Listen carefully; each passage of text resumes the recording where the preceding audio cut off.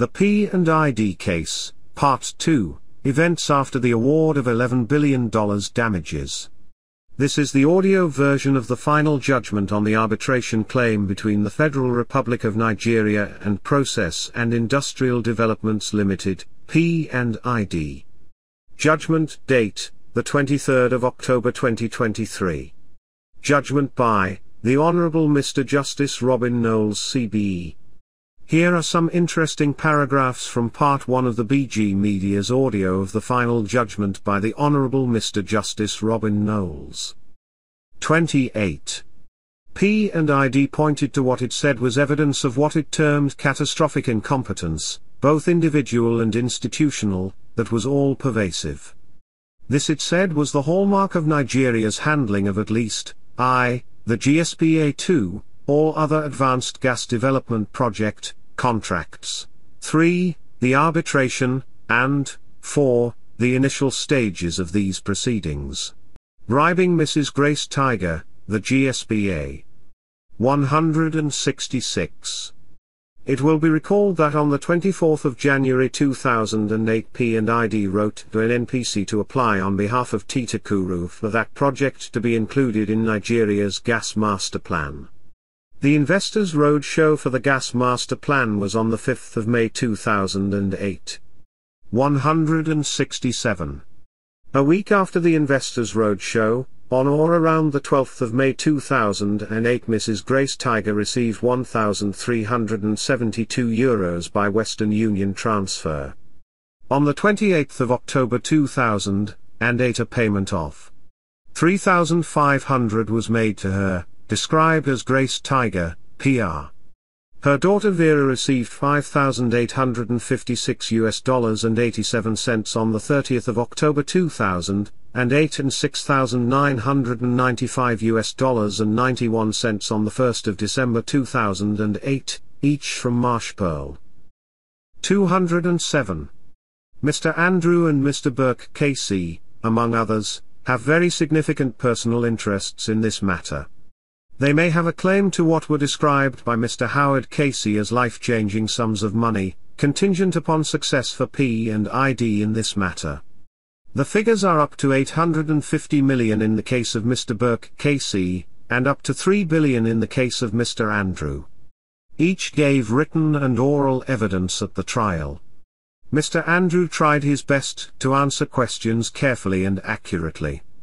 Mr. Burke KC gave answers in a way that appeared businesslike and direct at first, but became increasingly exercised as he was taken through more documents. 208. The then Attorney General, Mr. Mohammed Adoke SAN selected Mr. Olasupo Shasore SAN, to represent Nigeria as leading counsel. This selection was in preference to a recommendation of a Mr. Isiaku San that Mr. Ibrahim Dikko, by then legal director at the Ministry of Petroleum Resources, the position that Mrs. Grace Taiga had once held, had made to the Attorney General, a recommendation, that had been endorsed by the Permanent Secretary. Also appointed were 20 Marina Solicitors LLP, a Nigerian law firm with which Mr. Shasore SAN was associated. 210. I have reviewed these internal documents and at least some were plainly subject to legal professional privilege, they were confidential to Nigeria, and P&ID was not entitled to see them. The more relevant are identified in the course of this judgment. Another was the subject of a separate application in the course of the hearing before me, and privilege in it was not waived by Nigeria. That particular document is not ultimately material to the determination of any of the issues in the case and I do not refer to it further in this judgment. 211. I shall refer to these internal legal documents in the balance of this judgment as Nigeria's internal legal documents. Some of them are said to have been forwarded by individuals named Mr. Sahida Kanji, Mr. Tokunbo James and Mr. Mulero Rachel. Both Nigeria and P&ID say that individuals with these names or aliases are unknown to them. But the transmission of Nigeria's internal legal documents to P&ID, was plainly not the result of incompetence. The scale, nature, continuity and destination does not allow that conclusion on any balance of probabilities, even allowing for the seriousness of the conclusion that the transmission was deliberate. 212. Nigeria alleges. P&ID has offered no sensible explanation for why these documents were leaked by Nigeria's lawyers and has presented this court with a conspiracy of silence.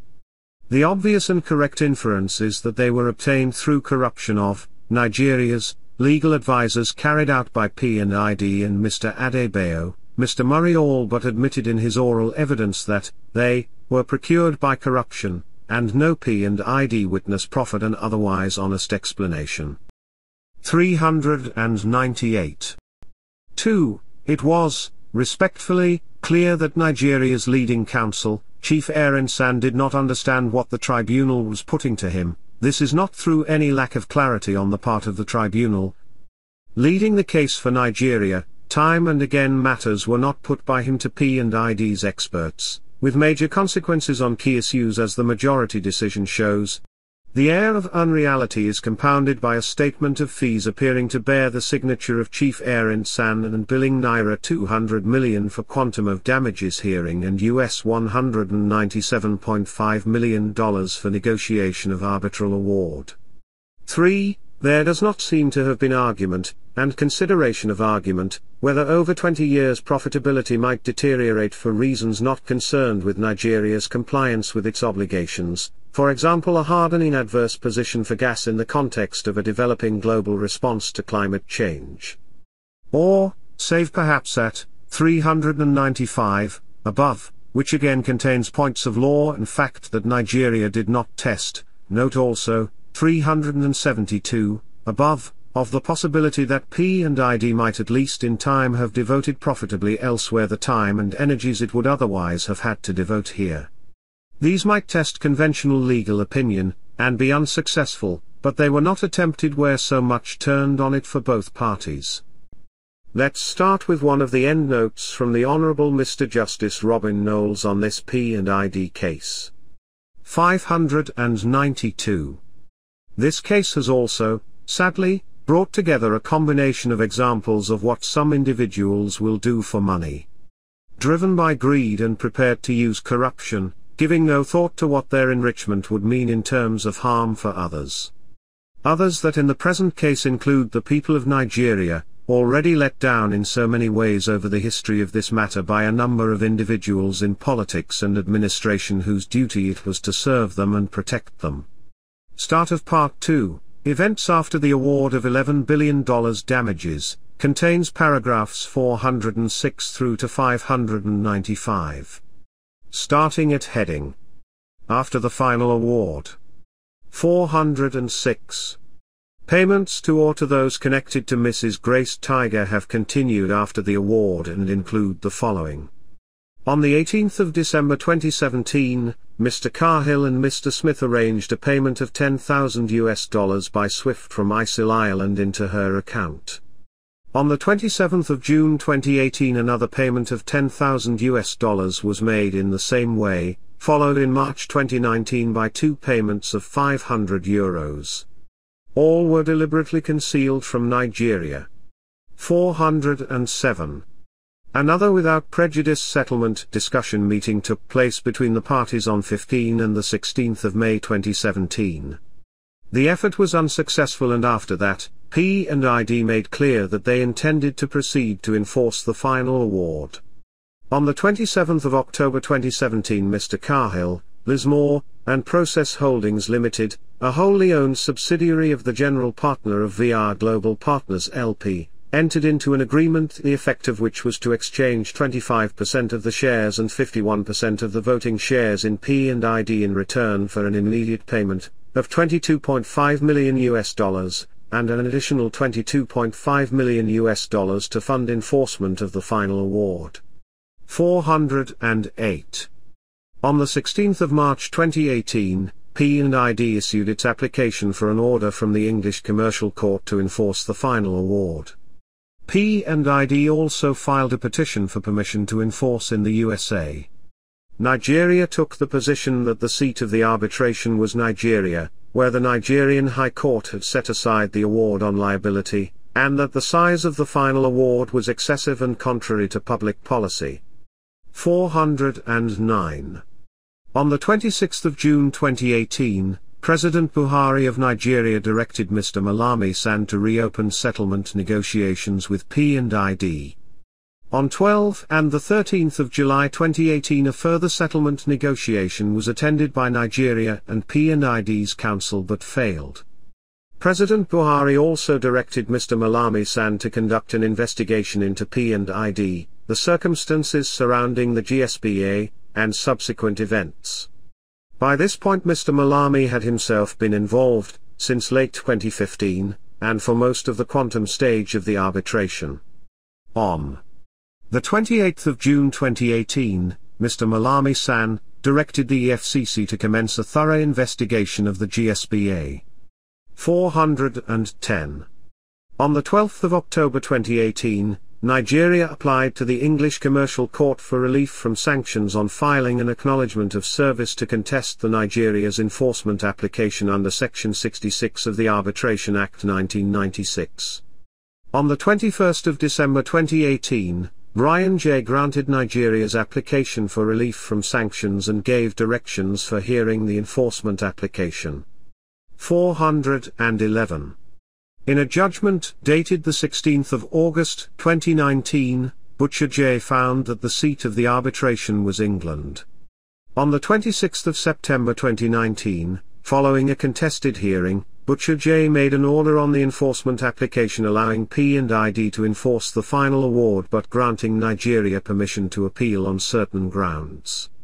He ordered a stay of enforcement until the determination of the appeal, subject to conditions, which were met.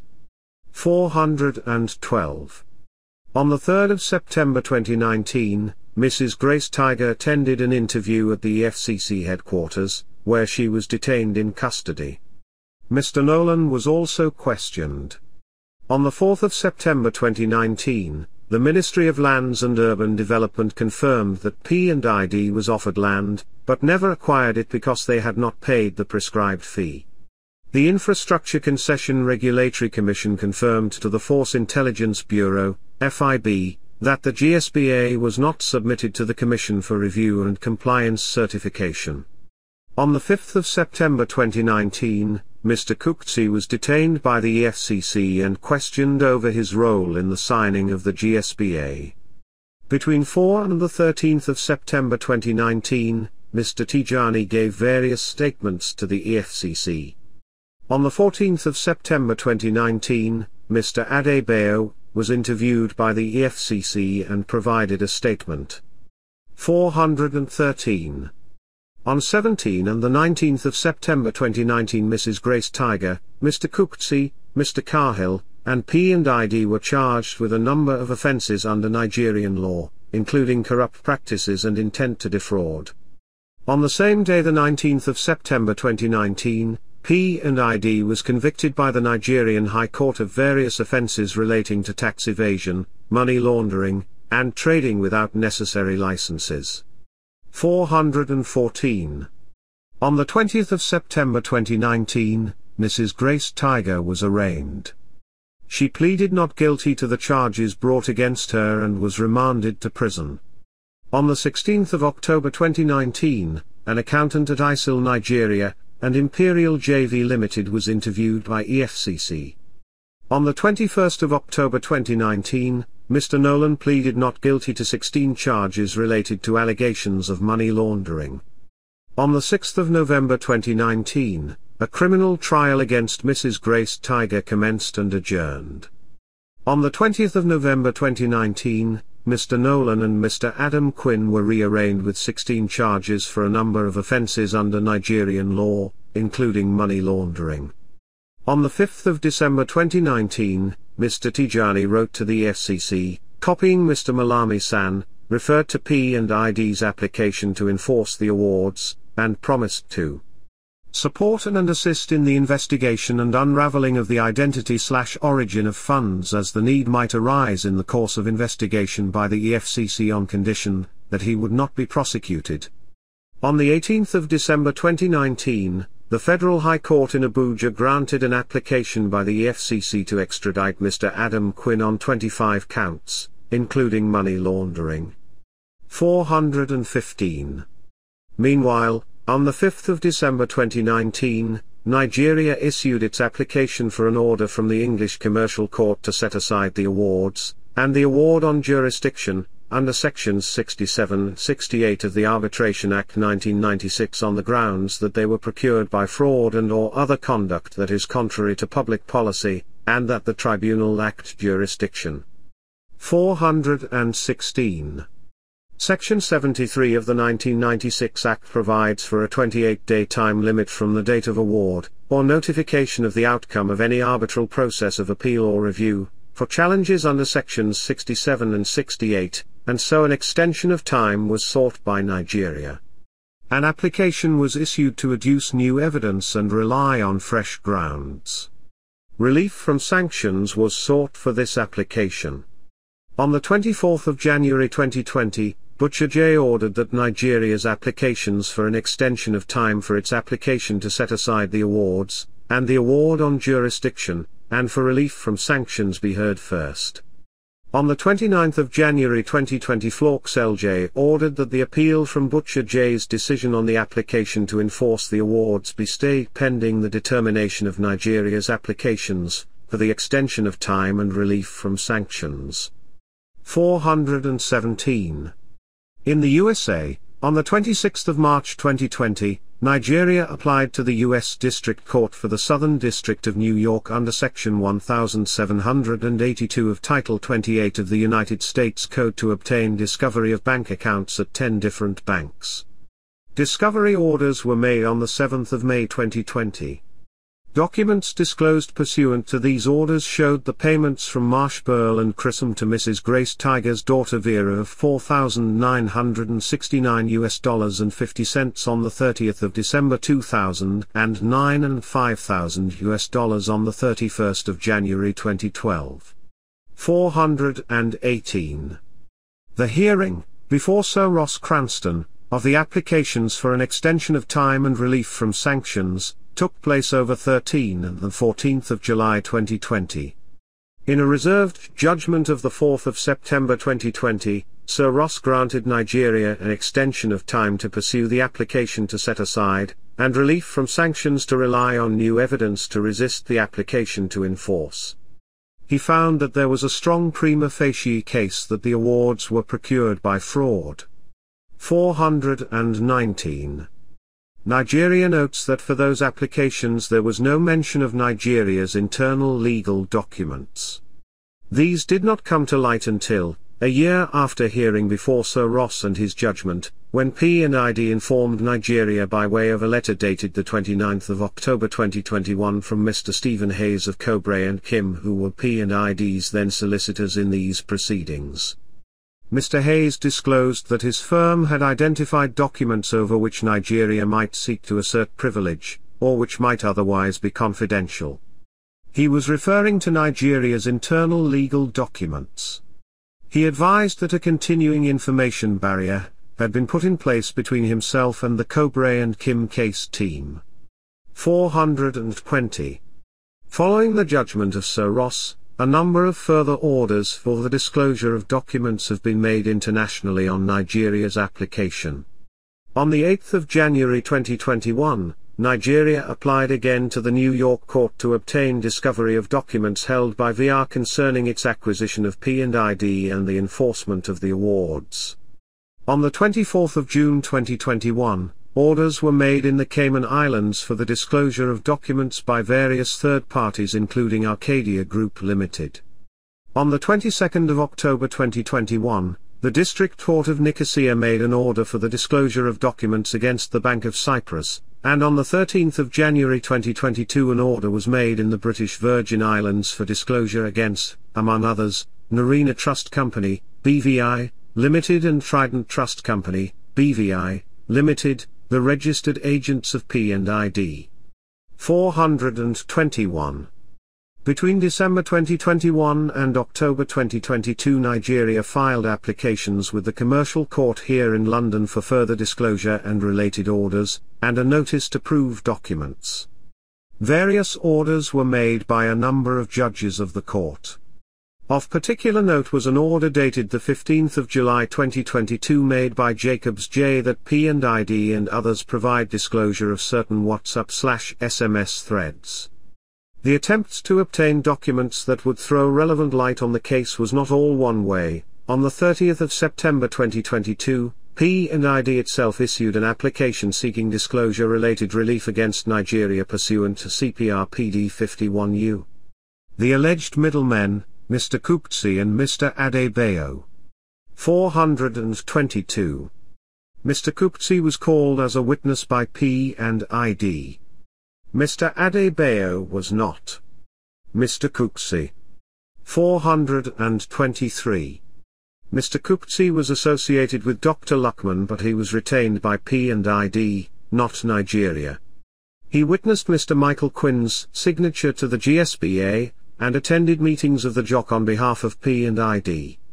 On business cards, he was described as P&ID's commercial director. 424. Payments were made to him by the ISIL group, but those do not take things very far given that he was retained by P&ID not Nigeria. There is sufficient evidence to persuade me that he had some access to some of Nigeria's internal legal documents. 425. Not long after the GSPA was signed, on the 19th of March 2010 Mr. Michael Quinn sent a letter from P&ID to Core Holdings Limited, a company owned by Mr. Kuptsi, confirming that Core Holdings were entitled to 3% of the net post-tax profits payable annually and pro rata as the profits were received under the GSPA. Nothing I heard at trial, including from him, satisfied me on the question of what Mr. Kuptsi had done to earn that level of reward. Nigeria alleged that he exercised his influence over officials to procure the conclusion of the GSPA, but I have little to show improper influence. Mr. Adebayo. 426. By early 2012 Mr. Adebayo had also been appointed by P&ID to assist them, including in negotiations with Nigeria. Mr. Adebayo owned GFD Energy, which, as noted above, had entered into its own GSPA with the Ministry of Petroleum Resources on the 26th of May 2011. Payments were made to him by the ISIL group, but, as with Mr. Kuptsi, those do not take things very far given that he was retained by P&ID, not Nigeria. 427. Nigeria alleged he had a war chest blatantly to be used, to spend on bribes promised in chasing a settlement, and that he paid and promised bribes to officials and lawyers acting for Nigeria. But on the material before me, this was not proved to my satisfaction. On the 2nd of July 2014 P&ID entered a settlement brokerage agreement appointing Mr. Adebayo as a representative in settlement negotiations.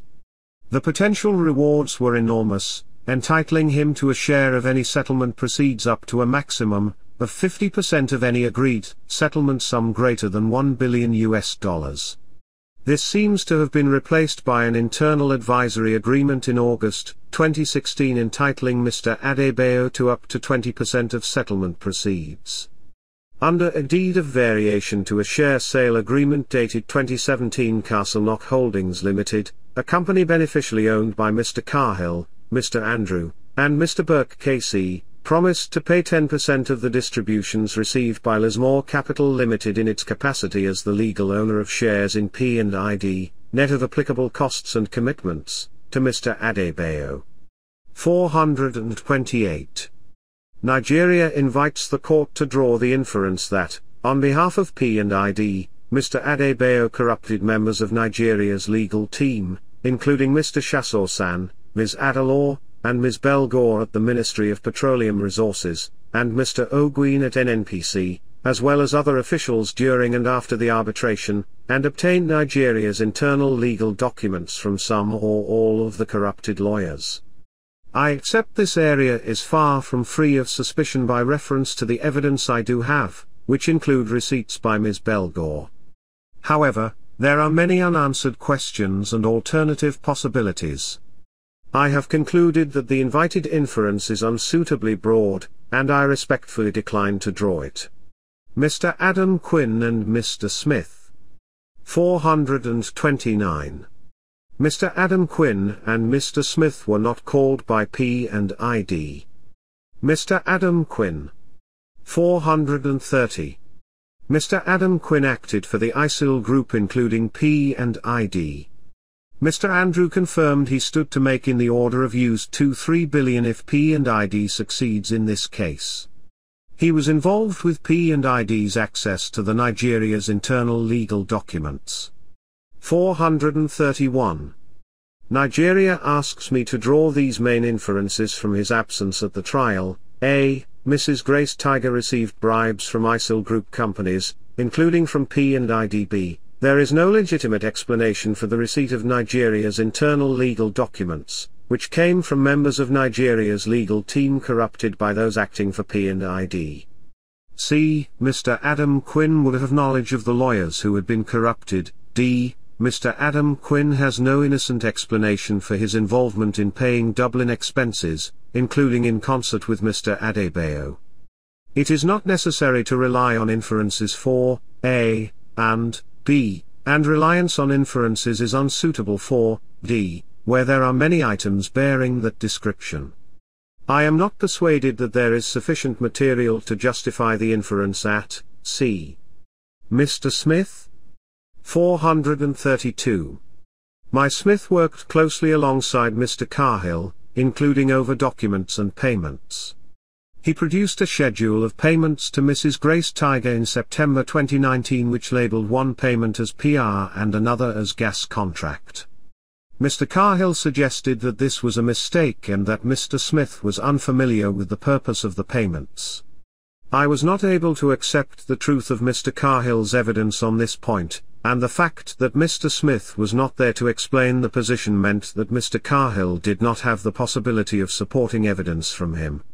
433. Nigeria says that T proper inference is that Mr. Smith, if truthful, would have confirmed that bribery and illegality was the modus operandi of those behind P&ID, including that bribes were paid to Mrs. Grace Taiga in connection with the entry of the GSPA. It is not necessary to draw this inference from Mr. Smith's absence as a witness in order to establish that bribes were paid to Ms. Grace Taiga. I do not consider his absence justifies the broader inference claimed, that bribery and illegality was the modus operandi of those behind P&ID. Mr. Bernard McNaughton. 434. Also not called as a witness was a Mr. Bernard McNaughton, a former employee of ISIL Group companies. In the event, that there has been sufficient evidence without his, but the apparent circumstances in which he is not giving evidence should be recorded. 435. On the 29th of September 2014, Mr. McNaughton wrote to press Mr. Cahill over payments on his employment with ISIL Group, coming to an end. He alleged that there had been various illegal activities during his time working for ISIL Group companies and that he held materials to show this. On the 20th of January 2020, Mr. McNaughton wrote to VR on the same subject and alleged that he held documents showing the same. He wrote again on the 22nd of January 2020 stating that he wished to point out the type of people VR are now assisting and my intentions to turn over all of the information I have to EFCC Nigeria. 436. The next day Mr. McNaughton wrote to a Mr. David Hallett, an employee of ISIL Group, stating his intention to send a file of documents to the EFCC over the weekend. 437. On the 27th of March 2020, Mr. McNaughton asked Mr. Cahill to outline proposals regarding payment to him, saying, On my part, I will make a legal undertaking not to disseminate any information on ISIL work practice or activities by, SIC, any individual working for ISIL. 438. On the 15th of May 2020 Mr. McNaughton wrote to Mr. Cahill stating that Mr. Godwin Odama, a former employee of Babcock Electrical Projects Limited, an ISIL group company, had been in recent contact with Mr. Nolan's Nigerian lawyer and the lawyer advised Godwin to destroy all records. On the 4th of June 2020, Mr. McNaughton sent an email to Mr. Cahill making further allegations of corruption and illegal activity. 439. An agreement was reached between ISIL and Mr. McNaughton, dated the 10th of April 2020 but signed by Mr. McNaughton on the 8th of July 2020, providing for ISIL to pay Mr. McNaughton between 97,000 and 157,000 out of the proceeds of the final award should P&ID succeed. On the 13th of October 2020, Mr. Cahill made a payment of 10,000 to Mr. McNaughton. Nigeria's allegations against its lawyers. Mr. Shasore SAN. 440.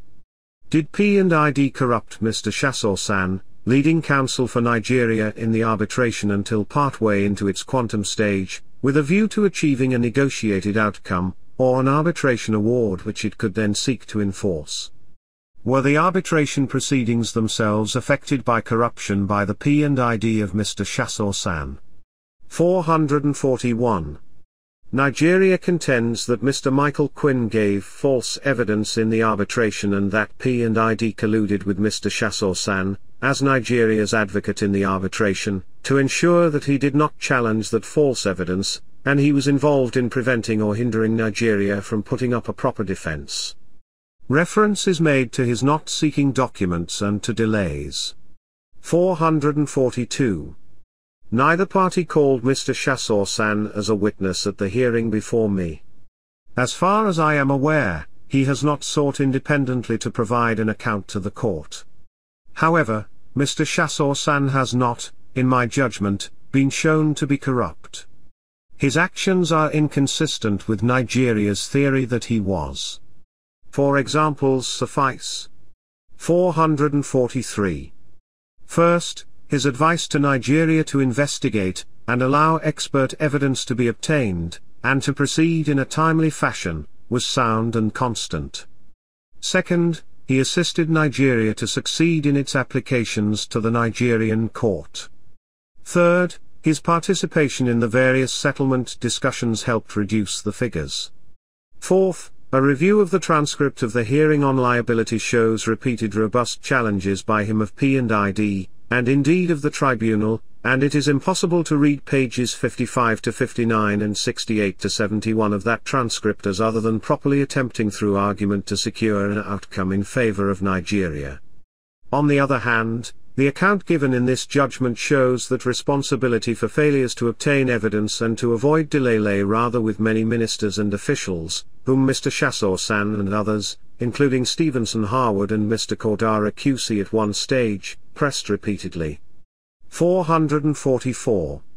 In a statement of facts and documents concerning bribery, prepared by Nigeria, it is alleged that a payment of 300,000 US dollars by Mr. Shasore to Mr. Ukiri, was a corrupt payment to Mr. Ukiri in return for which Mr. Ukiri, who did not do any work on the P&ID case, acted as one of Mr. Shasore's conduits in leaking Nigeria's internal legal documents, and in particular by the email of the 28th of October 2014 in which Mr. Ukiri sent to Mr. Adebayo such a document. There is not the evidence before me at this trial to substantiate this. Mr. Shasore had just been paid more than 1 million US dollars by Nigeria for his legal work. The payment was to his partner in a legal practice. Nothing links Mr. Ukiri's email with the payment, or shows why Mr. Shasore-SAN should go about things in this way if, which I do not accept has been established at this trial, he was behind P&ID receiving copies of Nigeria's internal legal documents. 445. I add that in my view, Nigeria, and specifically Mr. Malami-SAN, the Attorney General, did not in truth believe Mr. Shasore-SAN was corrupt. On the 21st of November 2017, Mr. Shasore SAN was engaged by Nigeria to represent the Ministry of Power in a $2.4 billion arbitration claim by Sunrise Power and Transmission Company. His appointment was approved by Mr. Malami SAN on the 6th of March 2018 and formally confirmed by Mr. Malami SAN on the 18th of March 2018. On the 1st of September 2021, Mr. Malami SAN approved the engagement of Mr. Shasore SAN's firm to act for Nigeria in a second arbitration brought by Sunrise, resulting from Nigeria's failure to comply with the settlement agreement. The agreed fee was up to 1.15 million US dollars. Mr. Malami SAN has not explained to this court how these events are consistent with a belief on his and Nigeria's part that Mr. Shasore SAN had been corrupt, in his professional work for Nigeria in the arbitration against P&ID. Mr. Dikko, Ms. Belgore, Ms. Adelor and Mr. Ogwin. 446. Nigeria says it is clear, and this court should find, that the corrupted lawyers also included Mr. Dikko, Ms. Adelor, Ms. Belgore, and Mr. Ogwin. 447. Here as elsewhere its argument gives no quarter. It writes in closing. In a particularly extraordinary episode in late 2014 and early 2015, Mr. Adebayo persuaded Ms. Adelor, Mr. Ogwin and Mr. Shasore to lobby their superiors relentlessly for a settlement of 1.1 billion US dollars. This figure was concocted without any serious attempt to value P&ID's claim. Both Mr. Cahill and Mr. Andrews said in cross-examination that it was inconceivable that a settlement at that level could have been achieved, certainly before any finding on liability, yet Mr. Adebayo almost managed it, with Ms. Adelor, Mr. Shasore and Mr. Ogwin recommending, in privileged advice improperly shared immediately in draft with P&ID on the 28th of November 2014, that, Nigeria, pay that sum. They were stymied only by the President's refusal to sign off on the proposed settlement in late May 2015. It is no coincidence that huge amounts of cash were withdrawn by Mr. Adebayo, and deposited by Ms. Adelor and Mr. Shasore, over the same period. 448.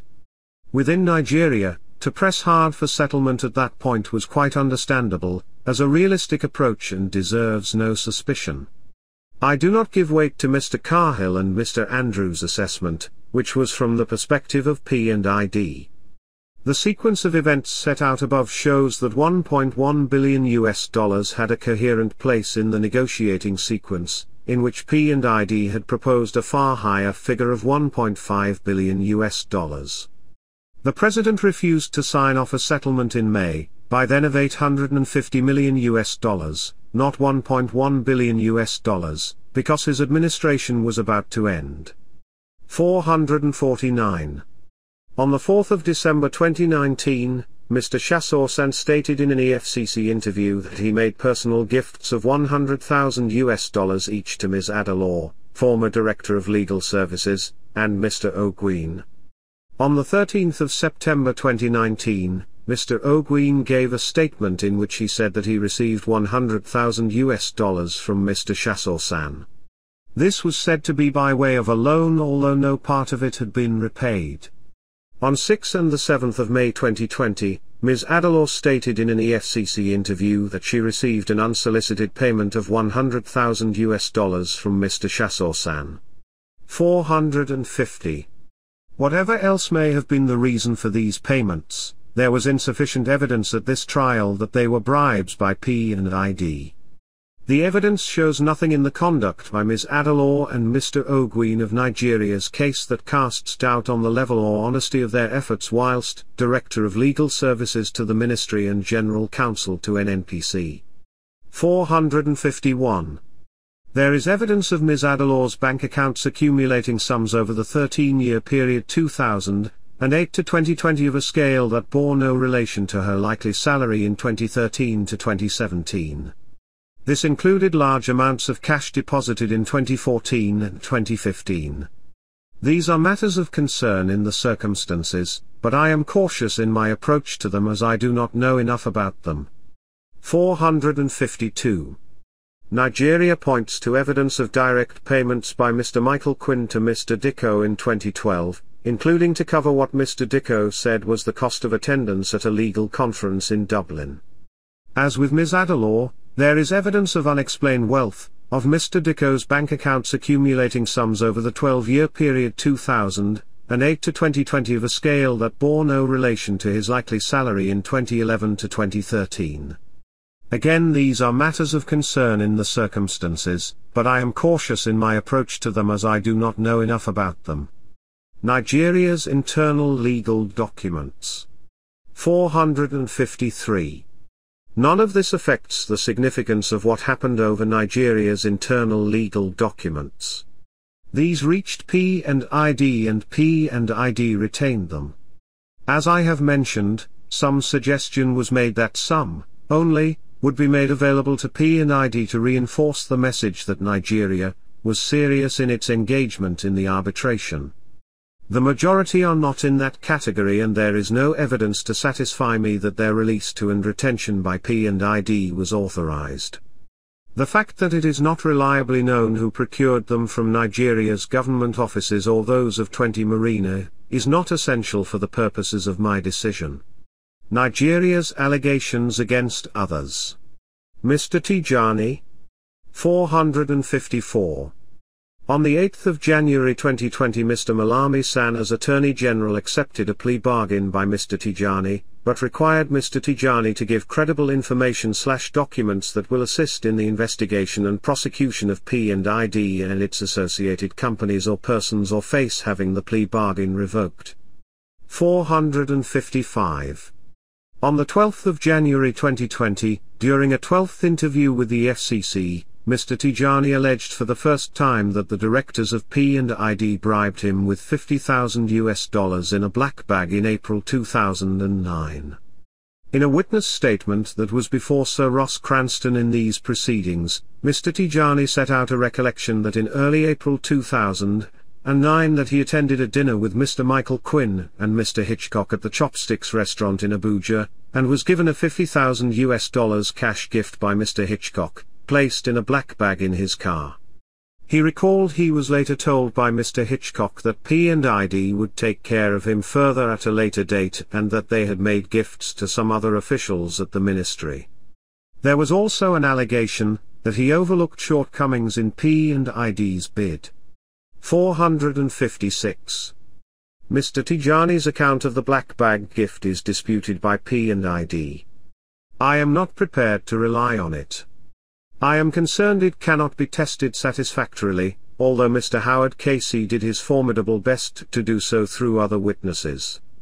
The allegation was first made 10 years later, on the 12th of January 2020. Mr. Tijani was interviewed by the EFCC about it.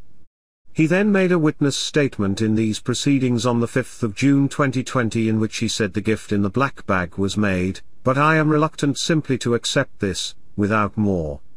The timing is not straightforward to understand, P&ID was reasonably positioned in April 2009 without the need for this particular payment then. In his witness statement, Mr. Tijani offered, unconvincingly, the explanation that he consider ed that Mr. Quinn and Mr. Hitchcock just wanted to be friends with me. There is no real background detail to this particular alleged payment. The method of payment differs from what is known about bribes or alleged bribes to others, including where alleged to have been in cash. 457. Then there was what was known as the Bonga audit, an episode that in my view is not fully revealed on the available evidence, but is in some respects explicable in terms of reward for later and separate services rendered. Mr. Tijani addresses it in his witness statement, and following the interview by the EFCC, but I am again cautious about that witness statement. It is not disputed that there was an investigation into delays and overspends on an offshore production unit, and that these were to be examined by engineers. On the 4th of March 2013, Mr. Michael Quinn contacted Mr. Tijani, by then retired from the ministry, to discuss this, and there was an email from Mr. Hitchcock. Mr. Tijani forwarded the email to two business associates, explaining that it had been received from one of the guys that I assisted over the years when I was technical advisor to the petroleum minister. On the 1st of June 2013, a contract to supply engineers was executed by Lurgi Consult, an ICIL group company, directed by Mr. Adam Quinn and Mr. Nolan, with Conserve Oil. The owner of Conserve Oil was a childhood friend of Mr. Tijani. Mr. Tijani's wife became a director of Conserve Oil in June 2015 and Mr. Tijani was appointed a signatory to the company's bank account around March 2016. 458. There are other episodes alleged but these do not take me much further, individually or cumulatively. Mr. Tijani later sent on the 17th of December 2009 to Mr. Hitchcock an email attaching the CVs of two associates and stating I will appreciate your assistance for employment of any of the two ladies. On the 12th of August, 2013, the retired Mr. Tijani offered his assistance to Mr. Cahill and Michael Quinn in their attempts to enforce a 2004 arbitration award against NNPC and in favor of IPCO, Nigeria, Limited. In 2014 and 2015 Lurgi Consult made large contributions to the costs of the weddings of Mr. Tijani's son and daughter. This may not have been appropriate, but it was in 2014 and I am not satisfied it was related to the GSPA. Dr. Lukman, Dr. Ibrahim, Mr. Mjida, and Ms. Adarami. 459. Allegations by Nigeria that Dr. Lukman, and Dr. Ibrahim were corrupt were not pursued in any depth by Nigeria at the hearing before me. The same is true in relation to Mr. Njida, a senior special advisor to President Goodluck Jonathan. Its allegations of corruption against Ms. Adarami, secretary to Ms. Grace Taiga, Mr. Dikko, and Ms. Adelaw in succession, do not take Nigeria's case further to a material extent. Mr. Malami SAN, and witness evidence for Nigeria. 460. In a case of this scale and importance, it was unusual that a party should not call any witnesses for cross-examination, but that is the course that Nigeria took. In its written closing P and ID argued. The absence of witnesses means that there is no material to support essential aspects of Nigeria's case or contradict essential aspects of P and ID's evidence as shown in P and ID's closing. In those circumstances, all three of Nigeria's surviving fraud claims necessarily fail on the fact's original emphasis. I have not been able to accept this broad argument, but it has properly drawn attention to the importance of close examination of the evidence in each aspect of the case. 461. Nigeria's position is that the main witnesses who might otherwise have been expected to give first-hand evidence for Nigeria, in particular about the award of the GSPA, have been corrupted by P and ID. That position is not a complete answer in my view. For example, P and ID referred to Mr. Ajumogobia SAN, the Minister of State for Petroleum Resources at the time of the GSPA.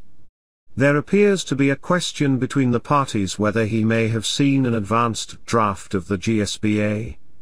It would have been helpful to have had evidence from someone in a position of seniority, and not the subject of allegations from Nigeria, but there is no basis for an adverse inference in my view. 462. But then there is Mr. Malami SAN. Mr. Malami SAN was appointed Attorney General, and Minister of Justice of Nigeria on the 11th of November 2015. He has been involved since. Nigeria did not tender Mr. Malami SAN as a witness for cross-examination. P and ID contends that the decision by Nigeria not to call any witness who could be cross-examined was motivated by a wish to ensure that its officials should not be exposed to questioning which would show them in a negative light. 463 that may be correct here, but again what matters is evidence. Nigeria's position is that Mr. Malami SAN was only involved from the quantum stage of the arbitration and could therefore only give first-hand evidence from that point onwards. Mr. Malami SAN could not have given any relevant evidence, says Nigeria. P and ID's closing contends that had Mr. Malami SAN or any other representatives of Nigeria been prepared to attend court to support the serious allegations they saw fit to make, P and ID would have been able to question them about a range of relevant matters including 14 that it lists. 464. Three of the matters go to key areas in the case. 1. The circumstances in which the GSPA came to be signed, including what the responsibilities of Mrs. Grace Taiga and Mr. Tijani were, and whether the process that was followed was any different from the process for concluding any other Nigerian contract, and in particular any of the other, accelerated gas development project, contracts which were concluded at around the same time. 2. Nigeria S. Inept handling of the arbitration, and in particular the reasons why it failed to mount the arguments which it now says would have won it the case, despite the urging of its internal and external advisers. 5. Nigeria's failure, over a period of several years, to carry out any investigation into the bribery allegations they eventually advanced in December 2019, and in particular Mr. Malami's complete failure to act on the EFCC's advice in 2016 to carry out a detailed investigation into the circumstances surrounding the award of the contract to P&ID. 465. These are areas of the case that I deal with in this judgment on the evidence that I have. They leave Nigeria without a positive case on whether the process followed for concluding the GSPA was different, and why Nigeria did not mount arguments in the arbitration, and over its failure to follow advice and carry out an investigation earlier. However, I do have evidence on what the process was and what arguments were mounted in the arbitration and when it did investigate. 466. P and ID refers, at matters 3, 4, 12, and 6, to the alleged conduct of Mr. Malami SAN in lying to the Vice President, in the aftermath of the Quantum Award, in an attempt to absolve himself from blame, attempting to cover up his own incompetence, following the judgment of Butcher J and telling lies to the BVI court on, Nigeria's Norwich Pharmacal application in 2021, and of Nigeria in making scurrilous allegations against a judge. 467. These matters are collateral to the issues I have to decide, but it is the fact, available to P&ID and reflecting adversely on Nigeria and Mr. Malami-SAN, that Mr. Malami-SAN has not been prepared to address them from the witness box. 468. Three matters go to Nigeria's alleged treatment of witnesses. 7. The shameful persecution of three of P&ID's witnesses, all highly vulnerable individuals, in an attempt to generate false evidence to support Nigeria's case, referred to at trial only in passing and facetiously, poor grace has been bashed up. 8. Nigeria's the especially depraved treatment of Mr. Kuchazi, in denying him access to cancer treatment and forcing him to stand trial, even though, Nigeria's own counsel submitted within minutes of his cross-examination stating that he was obviously unwell and incapable of understanding the process although later the suggestion by Nigeria, was that Mr. Kuchazi was only pretending not to understand the questions put to him. The offences with which he is charged are ridiculously technical, do not involve any allegations of bribery or corruption or anything relating to P&ID, and are obviously trumped up. Original emphasis 13. The steps were taken by Nigeria, no doubt also on Mr. Malami's initiative, to cause criminal proceedings to be instituted against Mr. Cahill in Ireland, in order to harass and intimidate him. 469. These are all matters I am able to, and do, weigh, and weigh in the knowledge that Nigeria has not sought to address them from the witness box. Separately, I take the opportunity to add here that news of the death of Mrs. Grace Taiga since the hearing before me makes some of the rhetoric feel wrong. 470.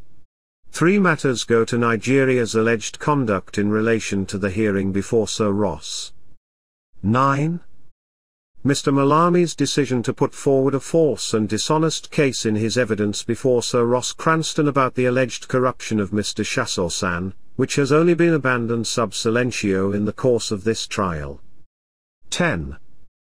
Mr. Malami's decision to put forward a false case, surely also dishonest, and also now quietly abandoned, to the effect that the GSPA was a sham when the ministry plainly knew that to be untrue. 11.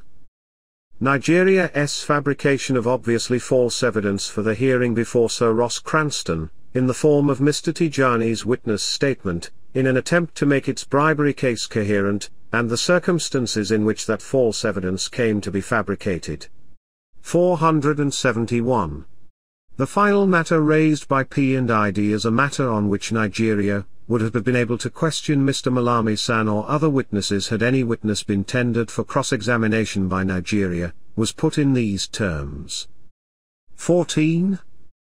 Nigeria's deliberate suppression of documents which exposed its case as false and dishonest, and its broader failure to collect and disclose relevant documents, including any electronic documents from huge swathes of ministry officials. 472. On this matter, I have the documents I have. These result from the disclosure processes required by the court and the channels available to the parties to request orders for more, here and overseas. I am able to, and do, weigh the point that there are further documents that I have not seen. Challenging the award, serious irregularity, Section 68 of the Arbitration Act 1996. The jurisdiction. 473. The full terms of Section 68 of the Arbitration Act 1996 are set out in the annex to this judgment. They include the following. Challenging the award, serious irregularity. 1. A party to arbitral proceedings may, upon notice to the other parties and to the tribunal, apply to the court challenging an award in the proceedings on the ground of serious irregularity affecting the tribunal, the proceedings, or the award. A party may lose the right to object, see section 73, and the right to apply is subject to the restrictions in section 72 and 3. 2. Serious irregularity means an irregularity of one or more of the following kinds which the court considers has caused or will cause substantial injustice to the applicant. G. The award being obtained by fraud or the award or the way in which it was procured being contrary to public policy. 474. The section is concerned with serious irregularity affecting the tribunal, the arbitral proceedings or the award. Subsection 2 lists nine kinds of irregularity. In the present case, our focus is on kind G. That is concerned with the award and the way in which it was procured. For irregularity kind, G, it is the award that must be obtained by fraud, it is the award or the way in which the award is procured that must be contrary to public policy. The focus is not on the claim on which the award is based or the cause of action on which the claim is based. Lord Wolfson KC submitted. The S.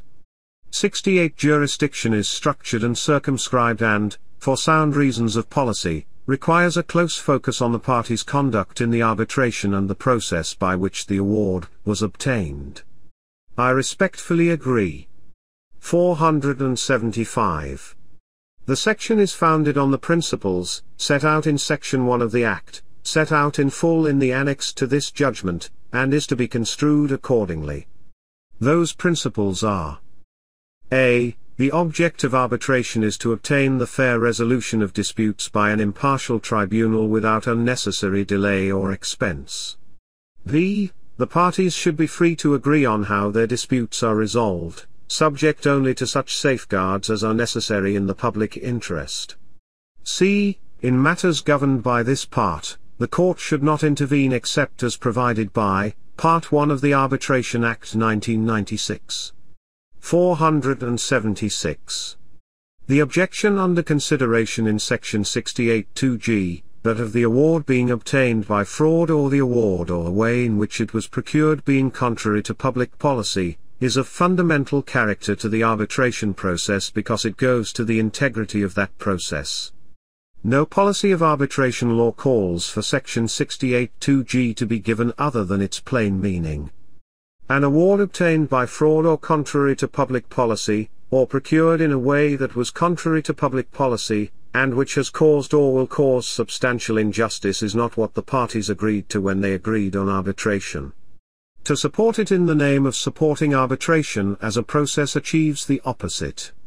Unless the right to object is lost for reasons of finality, the business of Section 73, below, and subject to the procedural restrictions in section 72 and 3, there is no sanctuary.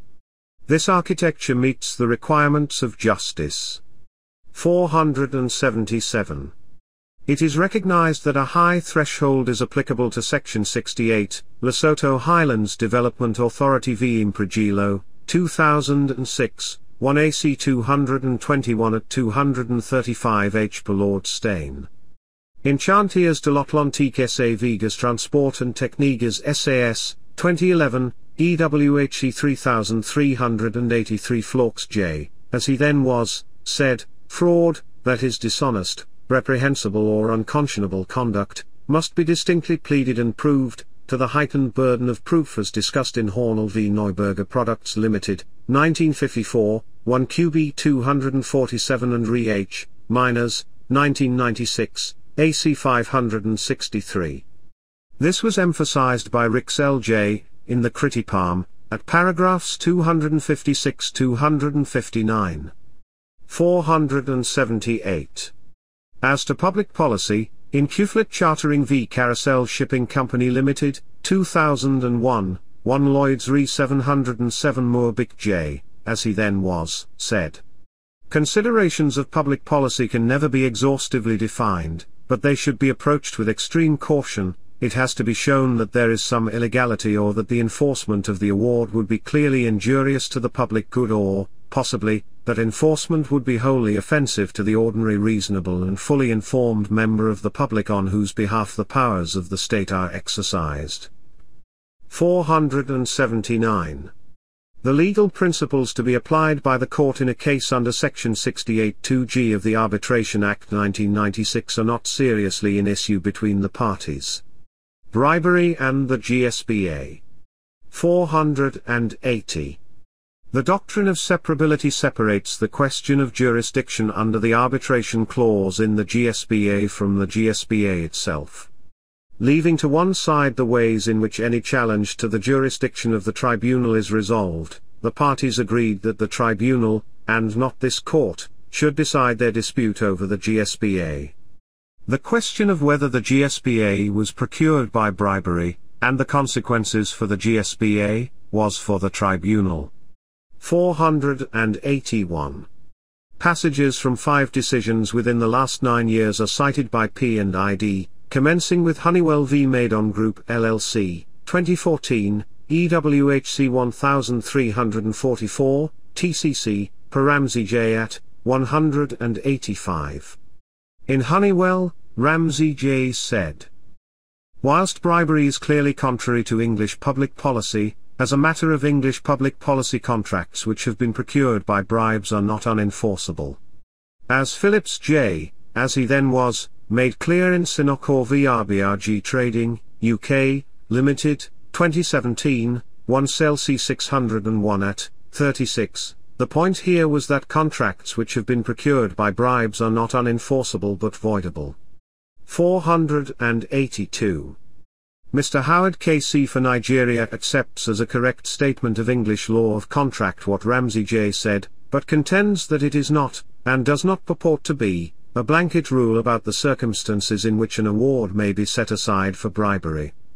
None of the passages in the five decisions deals in terms with the situation where there is not simply bribery to procure the contract, but there is also further conduct that obtains the award or results in the award or the way in which the award was procured being contrary to public policy.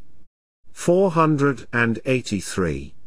Lord Wolfson KC for P&ID is correct to criticize Mr. Howard KC's suggestion in the oral opening that Section 68-2G requires you to ask, whether, enforcement of the awards would offend English public policy.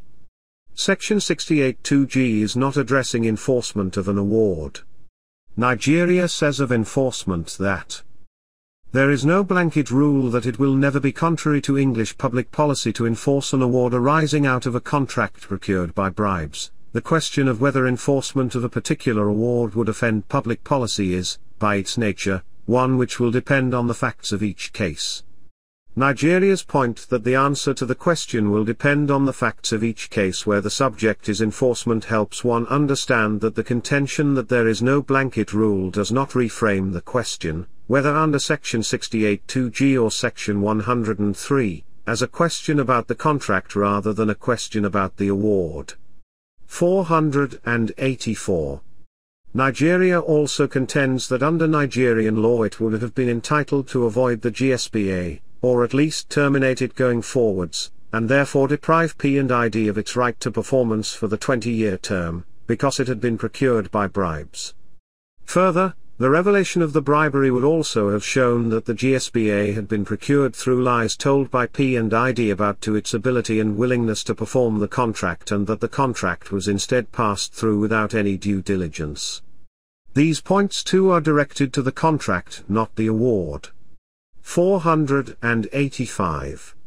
But Nigeria presses the argument that there was a real and direct link between on the one hand bribery and, alleged, misrepresentation to procure the GSPA, and on the other hand the outcome of the awards and that that is enough. Thus, it argues.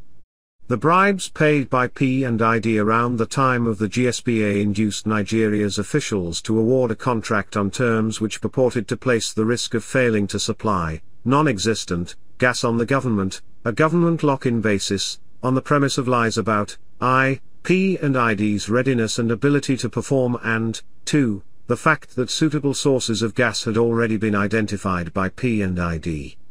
486. I cannot, with respect, accept the approach. In almost any case where an award is based on a contract procured by bribery and misrepresentation, there will be a real and direct link, the approach would involve the court reaching a conclusion about the contract rather than the award. 487. P and ID's response brings out the further difficulties in Nigeria's just mentioned approach. Bribes that P and ID allegedly paid to procure the GSPA are a very long way from the awards, a huge number of contingencies had to be satisfied, including Nigeria's failure to perform, P and ID's acceptance of that repudiatory breach, and then the entirety of the arbitral process leading to P and ID successfully obtaining the awards. To find that pre-GSPA payments from, say, 2009 were the reason why P and ID obtained the final award dated 2017 is to give no real meaning to the causal link in the phrase obtained by fraud. An overall fraudulent enterprise. 488. However in my judgment well within section 68.2g would be a case where there is an overall fraudulent enterprise or plan from the start to procure an award. Here the contract is a first or early step in carrying out that overall fraudulent enterprise or plan, but the result is the award. 489. At the point of entering into the GSPA did P&ID intend, fraudulently to extract large sums of money from Nigeria by means of an arbitration or a corrupt settlement. Was, at least what appeared to be, the commercial contract, the GSPA, from the start, simply a device as part of a fraudulent scheme to procure an arbitration award, or settlement, in favor of P&ID. 490. Here, I am satisfied that P&ID did intend to perform the GSPA when it entered into it, and that there were means by which it could have done so. Nigeria has characterized the GSPA as a sham and contended that P&ID is a BVI registered company with no obvious assets, no relevant experience, and few employees, had no genuine intention of performing the GSPA, and would never have been able to do so. However, P and ID did not have to contemplate performing the GSPA itself with its assets, experience, and employees. This is not, as it represented because it could simply use the work on Project Alpha to perform the GSPA. It is rather because ICIL Group had shown in the past that they could contract in. 491. Whilst P&ID was prepared to bribe in the course of its business, I do not accept it was of the sophistication to conceive at the contract stage a plan to extract large sums of money from Nigeria by means of an arbitration or a corrupt settlement. Consistently, P&ID did not use the GSPA to move directly to arbitration at the first available opportunity. I have found it did not, as alleged by Nigeria, corrupt Mr. Shasore SAN. And it appointed, in Sir Anthony Evans, an arbitrator of unquestioned experience, expertise, and independence. 492. It is in these circumstances that I have reached the conclusion that the present is not a case in which, when the parties entered into the GSPA, P and ID's intention was not to perform it but simply to use it as a device to get an award or settlement. However, that is not the end of Nigeria's Section 68 2G challenge. Knowingly false evidence, continued bribery, and retention of Nigeria's internal legal documents. 493. There remain three things that bring the case within Section 68 2G, in my judgment, as an irregularity, to use the language of the section. Each amounted to fraud by which the awards were obtained, and by reason of them, the awards or the way in which the awards were procured was contrary to public policy. 494. The first is P and IDs providing to the tribunal and relying on evidence before the tribunal that was material but was evidence that P and ID knew to be false.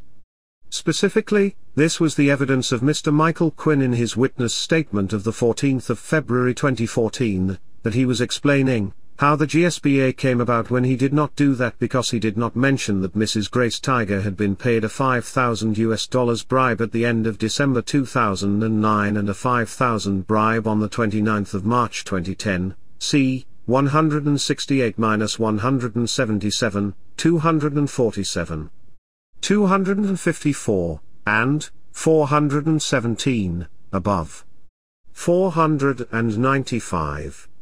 The second is P and ID's continued bribery or corrupt payment of Mrs. Grace Taiga directed to the arbitration period in order to suppress from the tribunal and Nigeria the fact that she had been bribed when the GSPA came about. This continued bribery or corrupt payment is fairly described by Nigeria as bribery to keep her on side, and to buy her silence about the earlier bribery.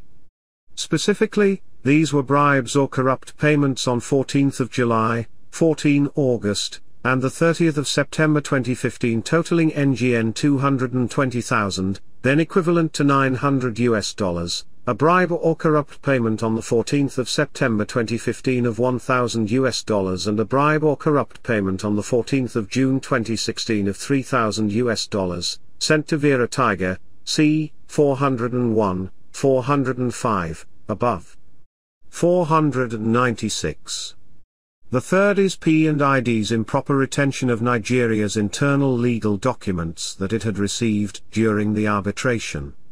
It retained these, rather than returned them unread, so as to monitor Nigeria's position and awareness as the arbitration continued.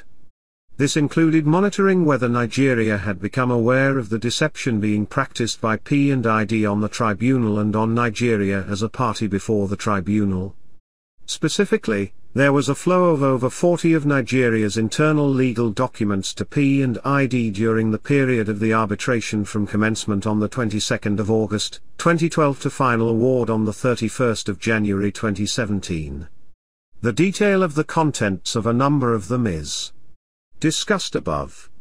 All are material, including for the fact that they showed to P and ID that Nigeria had no awareness that Mrs. Grace Taiga had been bribed when the GSPA came about and that bribery or corrupt payments continued to buy her silence.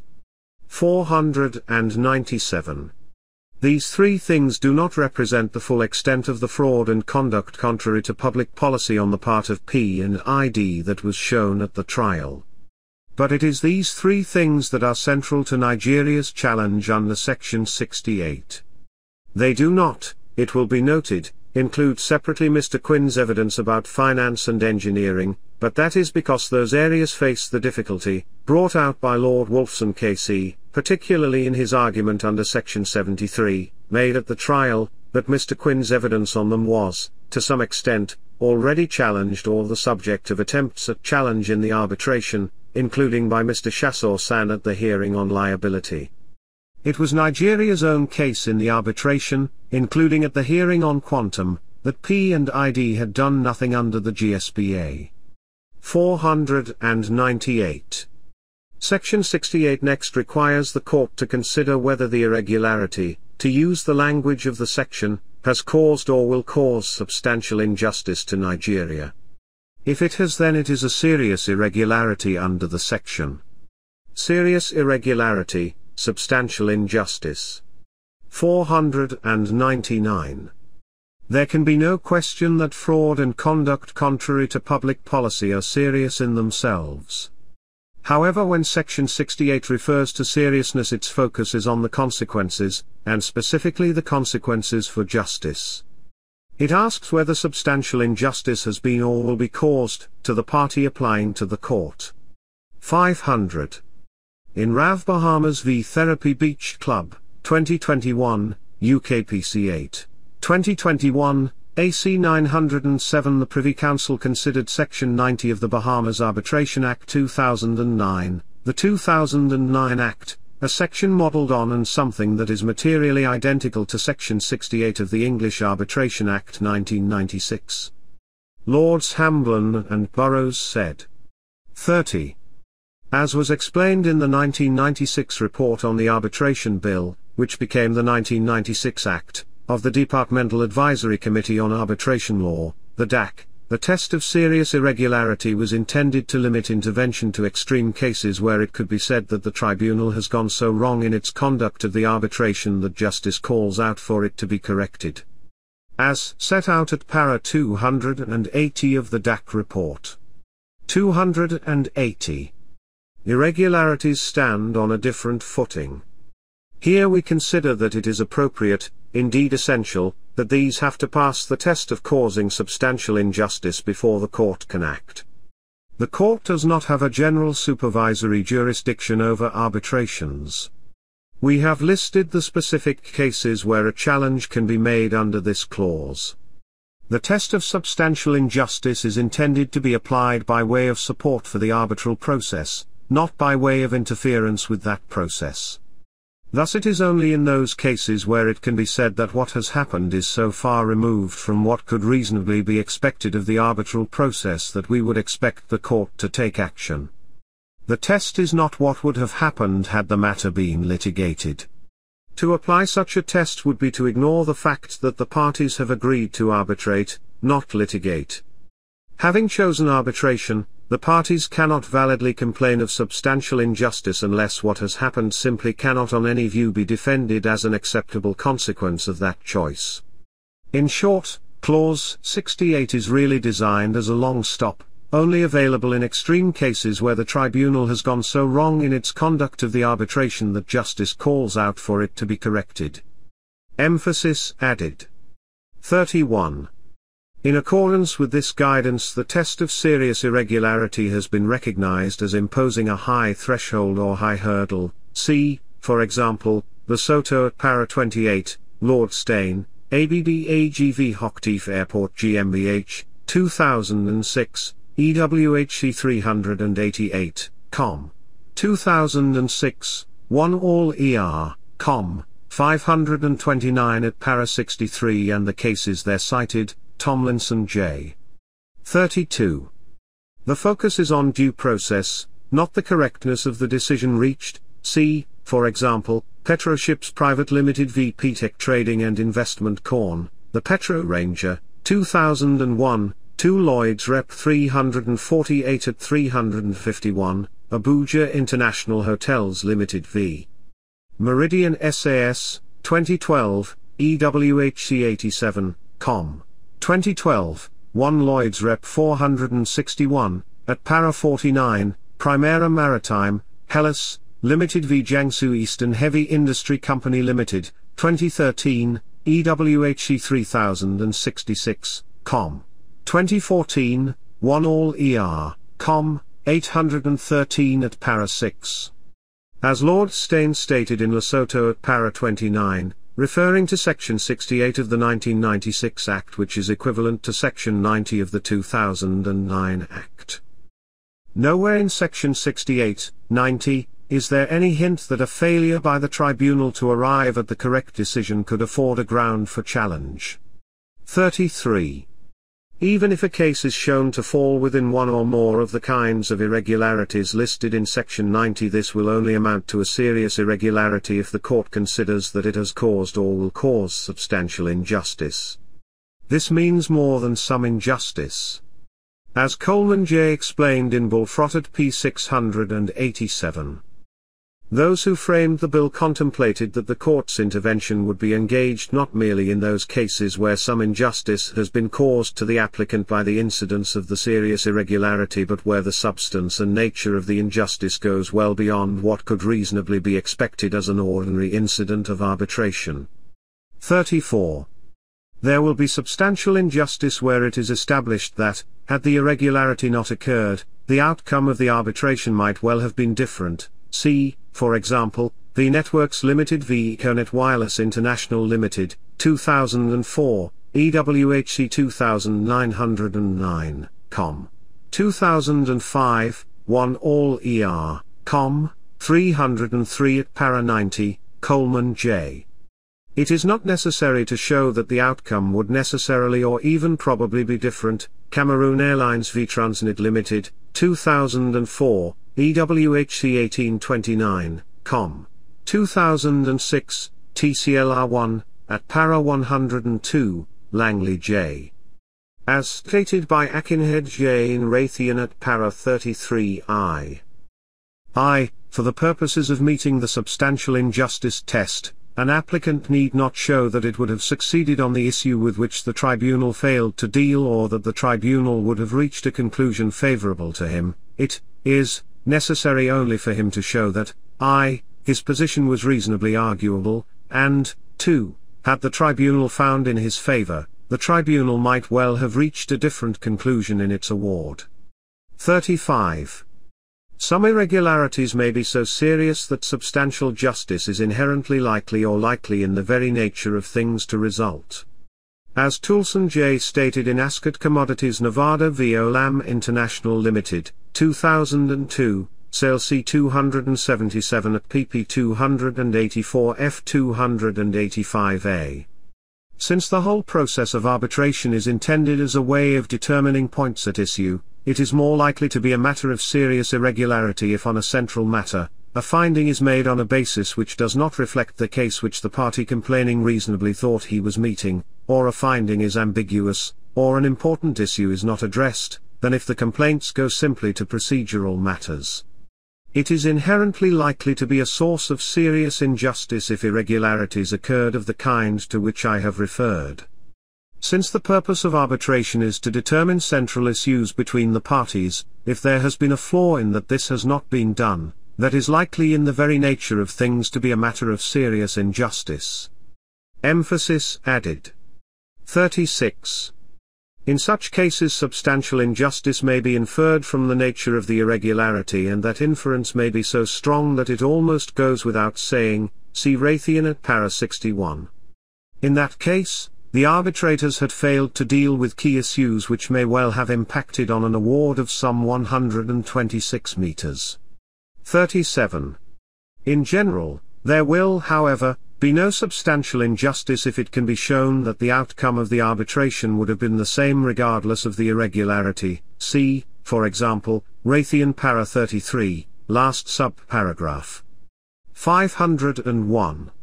Although the Act contains its own express criteria for applications under Section 68.2g the approach of the Court in relation to domestic judgments must be a useful comparator when applications were made to set aside arbitration awards, particularly bearing in mind that the decision was reached by the tribunal of the party's choice, DDT Trucks of North America v DDT Holdings, 2007, 2 Lloyds Rep 213.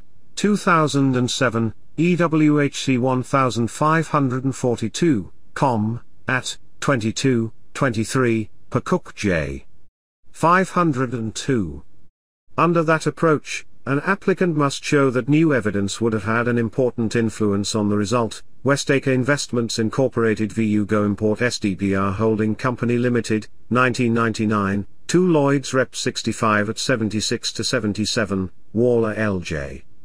Blair J. elegantly captured the relationship between this aspect of the jurisdiction in relation to judgments and the statutory jurisdiction in relation to arbitration awards when he observed in Double K that the latter point, important influence on the result, takes effect within the statutory requirement that the irregularity has caused or will cause substantial injustice to the applicant, Thyssen 65.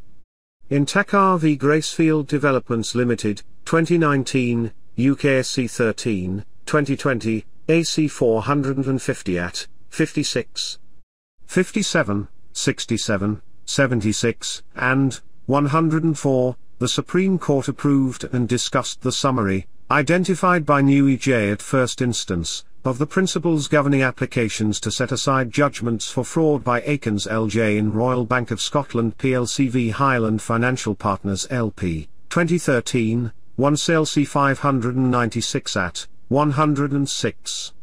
503. Reflecting the concern for a rigor in approach in this area, in Westacre Waller LJ continued, dissenting in the result, in the context of the particular type of irregularity that was before the court, by saying that the jurisdiction required evidence. So material that its production, at trial, would probably have affected the result and, when the fraud consists of perjury, is so strong that it would reasonably be expected to be decisive at the rehearing and if unanswered must have that result. 504. But result should be understood broadly, as what happened. There will be a range of situations, and to allow for that the matter can be put more broadly, as the Privy Council did in Rav Bahamas, there will be substantial injustice where it is established that, had the irregularity not occurred, the outcome of the arbitration might well have been different. This further respects the fact that Section 68.2g concerns not just the award being obtained by fraud or being contrary to public policy, but also the way in which, the award, was procured being contrary to public policy. 505. Lord Wolfson KC argued that the applicant alleging that substantial injustice was caused must show that but for the irregularity, the tribunal might well have reached a different view and produced a significantly different outcome, and, referring to Nigeria's written opening, that that was common ground. In my judgment, it is one of the ways in which the requirement for causation may be and has been put, but it is and has not been intended as a comprehensive description. Section 68.2g says simply that it is a substantial injustice to the applicant that has to be shown. And this is substantial injustice that the serious irregularity has caused or will cause. I should add that I do not consider that the relevant paragraph in Nigeria's written opening does quite create common ground as suggested. 506. Lord Wolfson KC referred to the decision of Sir Ross Cranston in Africa Sourcing Cameras Limited VLMBS, 2023, EWHC 150. This concerned an allegation of serious irregularity in the form of apparent bias in relation to the chair of the tribunal. The challenge was under Section 68.2a. Sir Ross said, There is no support in RAV for the suggestion that in a Section 68 application, a finding of apparent bias in an arbitration tribunal will lead as a matter of course to a finding of substantial injustice. Rather, as we have seen, the effect of the Privy Council's advice is that a case within Section 68.2 will not constitute a serious irregularity unless the court considers that it has caused substantial injustice, although the nature of the irregularity may be such that the inference of substantial injustice almost goes without saying. Moreover, there will be no substantial injustice if it can be shown that the outcome of the arbitration would have been the same regardless of the irregularity. 507. It is the last sentence that Lord Wolfson KC emphasizes. But Sir Ross made clear he was dealing with the situation where the serious irregularity was apparent bias, and apparent bias not actual bias. If it can be shown that the outcome of the arbitration would have been the same regardless of apparent bias then it seems clear that there will be no substantial injustice. That is what Sir Ross was saying, and in my respectful view, he was correct. 508 the citation of the case by Lord Wolfson KC also allows emphasis that whether it is in fact possible to show that the outcome of the arbitration would have been the same will be different depending on the circumstances of the case and the nature of the challenge. Perhaps there is much to be said for this aspect of these challenges to be left with the words of the section serious irregularity means an irregularity of one or more of the following kinds which the court considers has caused or will cause substantial injustice to the applicant, keeping in mind the text of the DAC report to which the Privy Council referred. 509. In the present case, The core is the bribery of Mrs. Grace Taiga when the GSPA was being made. It is the fact of that bribery that Mr. Michael Quinn falsely concealed by the words of his witness statement, and that the continued bribery or corrupt payments sought to suppress. It is that that P&ID was monitoring, among other things, by its retention of the Nigeria's internal legal documents. 510. In its written closing P&ID argues that, any perjury that took place did not cause any substantial injustice within the meaning of S. 68 as it did not bring about the awards, or any of them. I respectfully disagree. The awards were the result of the arbitration that happened. There is no question to my mind that the arbitration would have been completely different, and in ways strongly favorable to Nigeria, had the fact of the bribery of Mrs. Grace Taiga when the GSPA was being made been before the tribunal. It would have brought in the issue of whether the GSPA was procured by fraud, and as a result voidable. Discovery of the concealment would have completely altered the tribunal's approach to the rest of Mr. Michael Quinn's evidence. 511. I have no hesitation in concluding that Nigeria suffered substantial injustice within the meaning of the section. And that is even before taking into account what P&ID did with Nigeria's internal legal documents. 512. P&ID says here again P&ID's obtaining of these did not cause any substantial injustice within section 68, because it had no effect whatsoever on the awards, irrespective of how or from whom the documents were obtained, they did not cause substantial injustice because they gave P&ID no relevant advantage in the arbitration. I must again respectfully reject the argument. The court will be realistic here about what proof is possible in terms of showing the effect of a dishonest course of conduct. The nature and contents of the documents and the scale, continuity, and circumstances of P&ID's conduct were such that, in my judgment, Nigeria's right to confidential access to legal advice was utterly compromised throughout all or most of the arbitration. It was effectively denied an important part of the process of arbitration. Here too I have no doubt that had the tribunal known, its approach would have been very different. 513. In this connection, reference was made to the decision of the Court of Appeal in Hamilton v. Al-Fayed, 2001, EMLR 15. The Court of Appeal considered an appeal against a judgment at trial. It examined whether the purchase of stolen privileged documents had given any significant procedural advantage at the trial, finding that it had not, the documents had not been used to obtain a tactical advantage in the litigation, let alone, had they, enabled him to obtain a favorable verdict when otherwise he might not have done so. 514. An application under Section 68 is not of course an appeal, but for present purposes, it is important to emphasize the difference between the circumstances of that case and this. On the appeal, the court examined the effect of specific identified use of privileged documents at a trial. It was realistically possible to inquire into the question of tactical advantage and effect on verdict. Here the court on a Section 68 application is faced with conduct throughout the course of an arbitration.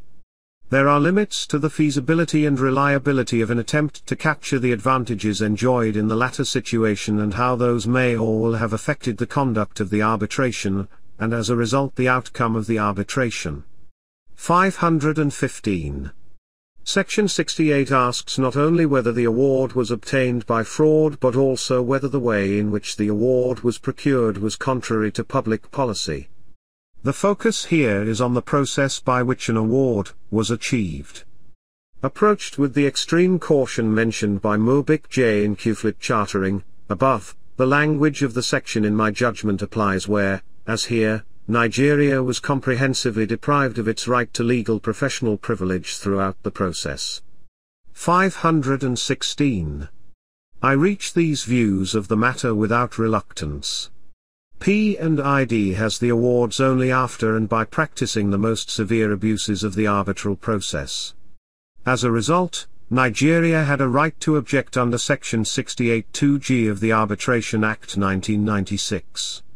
True, there were other causes of the awards, including incompetence and neglect throughout the arbitration on the part of Nigeria, acting through a number of individuals. But the presence of these causes does not detract from the effects of P&ID's abusive conduct. If this was a fight it was not a fair one, and could not lead to a just result. 517. If I go back to the passages of the DAC report cited by Lords Hamblen and Burrows JJSC, the present is a standout example of a case where justice calls out for correction. It is readily seen that what has happened is so far removed from what could reasonably be expected of the arbitral process that it is to be expected that the court will take action, and to do so is by way of support for the arbitral process, not by way of interference with that process a phrase also brought out by Cresswell J. in the Petro Ranger, 2001, EWHC 418, com. 2001, 2 Lloyd's Rep 348 at 351. Loss of right to object, Section 73 of the Arbitration Act 1996. Section 73. 518. In trying to take a path through this judgment in a way that may be of assistance to different audiences, I reached this important point last. It was, properly, a significant part of the case that Lord Wolfson KC presented on behalf of P and ID. 519. By Section 73 of the Arbitration Act 1996, so far as material.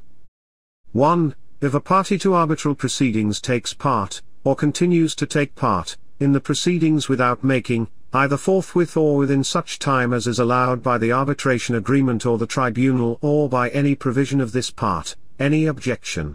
A. That the tribunal lacks substantive jurisdiction, or, d. That there has been any other irregularity affecting the tribunal or proceedings, he may not raise that objection later, before the tribunal or the court, unless he shows. At the time he took part or continued to take part in the proceedings, he did not know and could not with reasonable diligence have discovered the grounds for the objection. 520.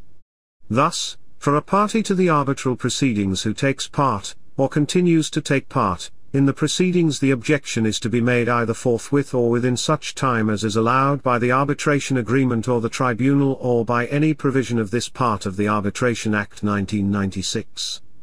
If it is not, then it may not be made later before the tribunal or the court unless the party did not know and could not with reasonable diligence have discovered the grounds for the objection at the time he took part or continued to take part in the proceedings.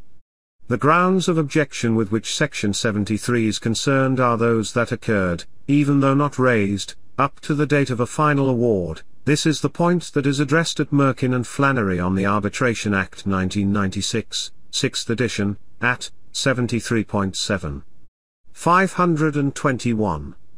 There is a valuable explanation of Section 73 in Rustal Trading v Gill and Duffus S.A., 2000, 1 Lloyd's Rep 14 by Moore-Bick J., as he then was. At 19 to 20, he said.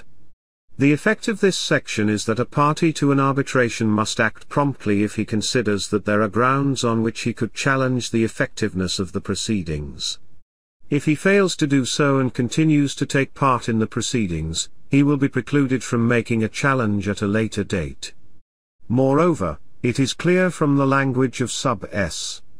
1 itself that it is unnecessary for an applicant to have had actual knowledge of the grounds of objection in order for him to lose his right to challenge the award. If the respondent can show that the applicant took part or continued to take part in the proceedings without objection after the grounds of objection had arisen, the burden passes to the applicant to show that he did not know, and could not with reasonable diligence have discovered, those grounds at the time. It may often be necessary, therefore, to consider the applicant's conduct of the proceedings against the background of his developing state of knowledge. 522. A number of authorities have identified or confirmed that the fundamental principle, or policy, involved is that of fairness, and justice, in the sense of openness and fair dealing between the parties, see Moore-Bick J. in Rustal, above, at 19 to 20, Colman J. in JSC Zestafoni v. Ronly Holdings Limited, 2004, EWHC 245, com. 2004, 2 Lloyds Rep 335 at 64, Cooke J in Thyssen Canada Limited v Mariana Maritime SA, 2005, EWHC 219, com. 2005, 1 Lloyds Rep 640 at 18, Aikens J in Primetrade AG v Ythan Limited, 2005, EWHC 2399, com. 2006, 1 Lloyds Rep 457 at 59, 61, and Car in CVD1, 2015, EWHC 2126, com, at 150, Province of Balochistan v Tethyan Copper Company Proprietary Limited, 2021, EWHC 1884, com. 2021, 2 Lloyds Rep 443 at 110, Robin Knowles J, in a list of points improved by Butcher J. National Iranian Oil Company v. 1, Crescent Petroleum Company International Limited, 2, Crescent Gas Corporation Limited, 2022, EWHC 2641. Com, at, 36. Section 73 with Section 68 2G. 523. Section 68 itself provides that a party may lose the right to object, see Section 73.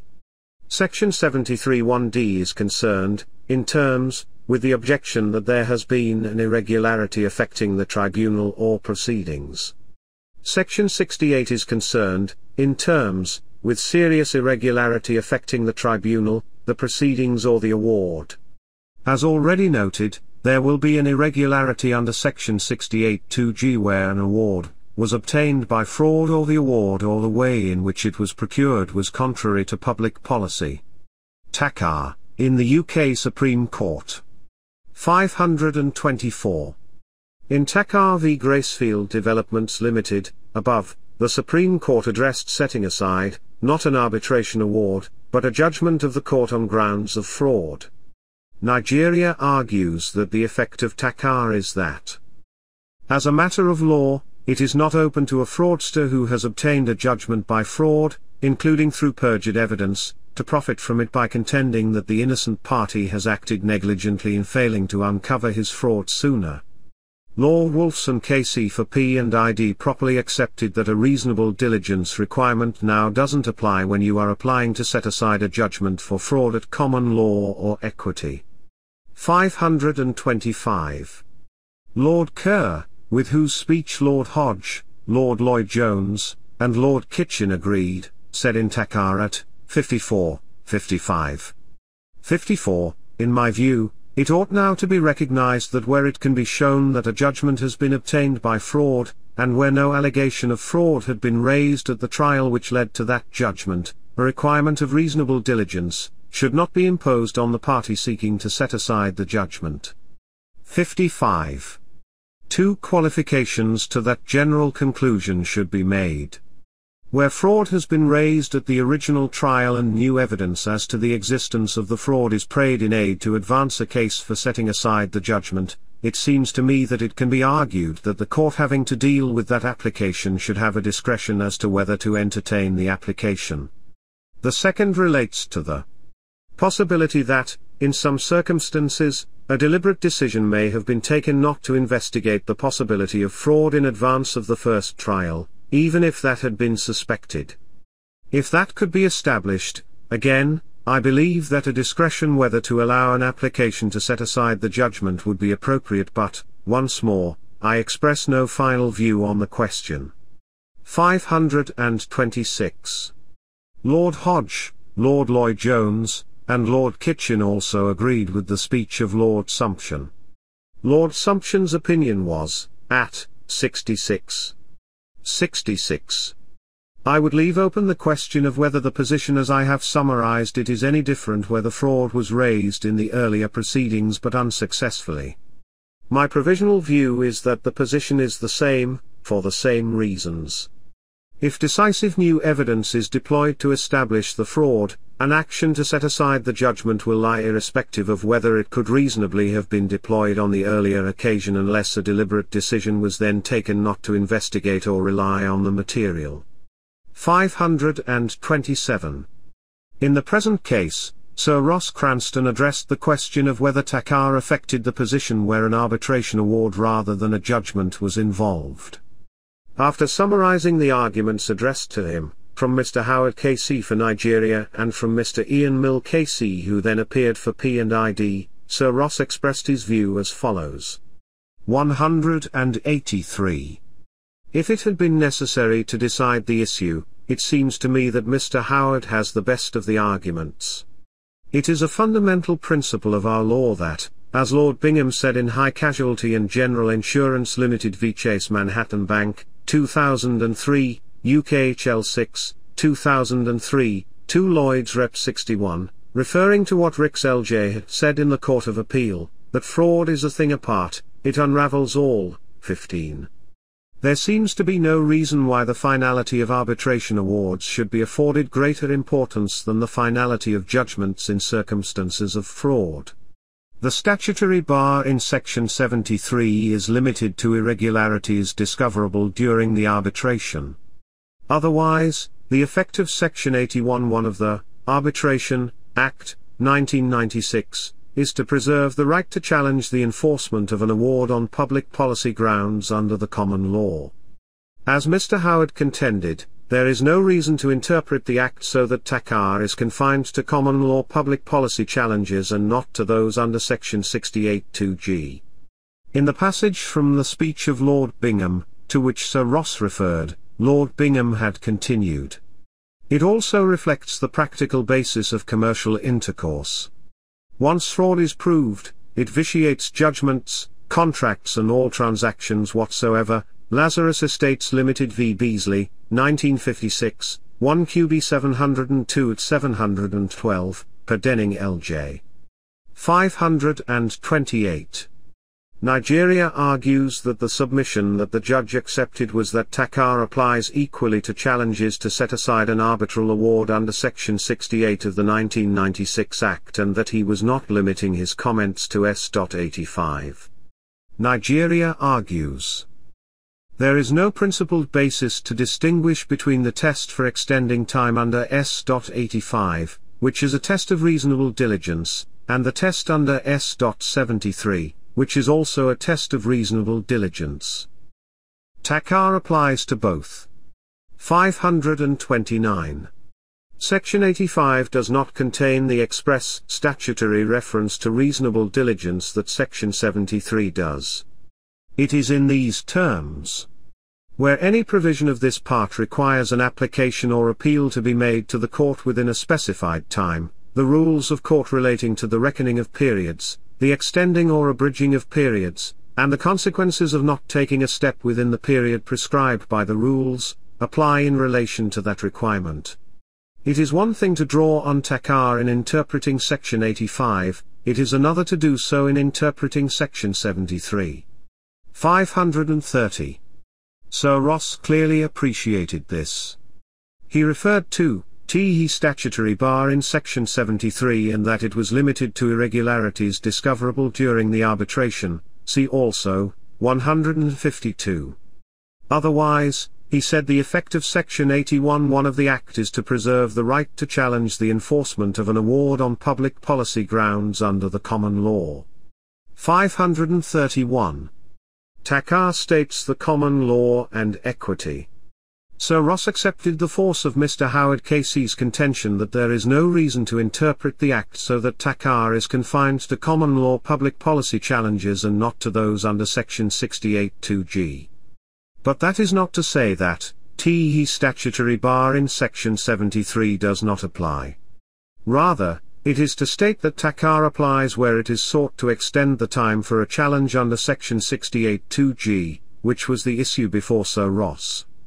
Sections 68.1 and 73 both make plain that any challenge brought under Section 68 can be barred under Section 73.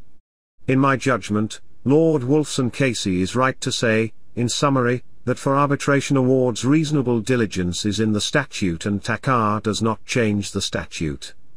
Statutory context of course continues to be provided by Section 1, and the principles there set out. Reasonable diligence. 532. How does the requirement of reasonable diligence in section 73 apply in the particular circumstances of section 68.2g, that is, where the allegation is that an award was obtained by fraud or the award or the way in which it was procured was contrary to public policy? 533. The requirement under section 73 is could not with reasonable diligence. The language is not should not, as Lord Wolfson KC emphasized, in my view correctly. I do not consider that Burton J. in H. J. Hines v. FL, 2010, 1 Lloyd's Rep 727 at 31. 33, was suggesting otherwise, and I appreciate that some would point out that to say a person could have discovered something with reasonable diligence means that they should have. When Nigeria says in its written opening, in this respect, the test is not whether Nigeria's legal team could by any means have discovered P&ID's dishonesty, but whether it should have done so. The test does not involve the word should but the test also does not include the words any means. The words with reasonable diligence are very important. 534. Takhar assists with the meaning and understanding of what the law does and does not expect of the victim as a reasonable person in the specific context of fraud. Mr. Howard KC draws on this passage from Lord Sumption's opinion in Takhar at, 63, Lord Hodge, Lord Lloyd Jones, and Lord Kitchin agreed with Lord Sumption, but cf on this point Lord Briggs at, 88.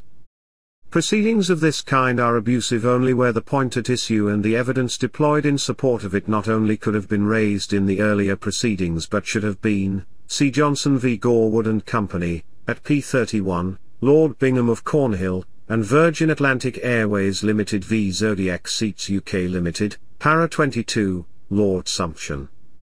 As Lord Bingham observed in the former case, it is wrong to hold that because a matter could have been raised in earlier proceedings it should have been, so as to render the raising of it in later proceedings necessarily abusive.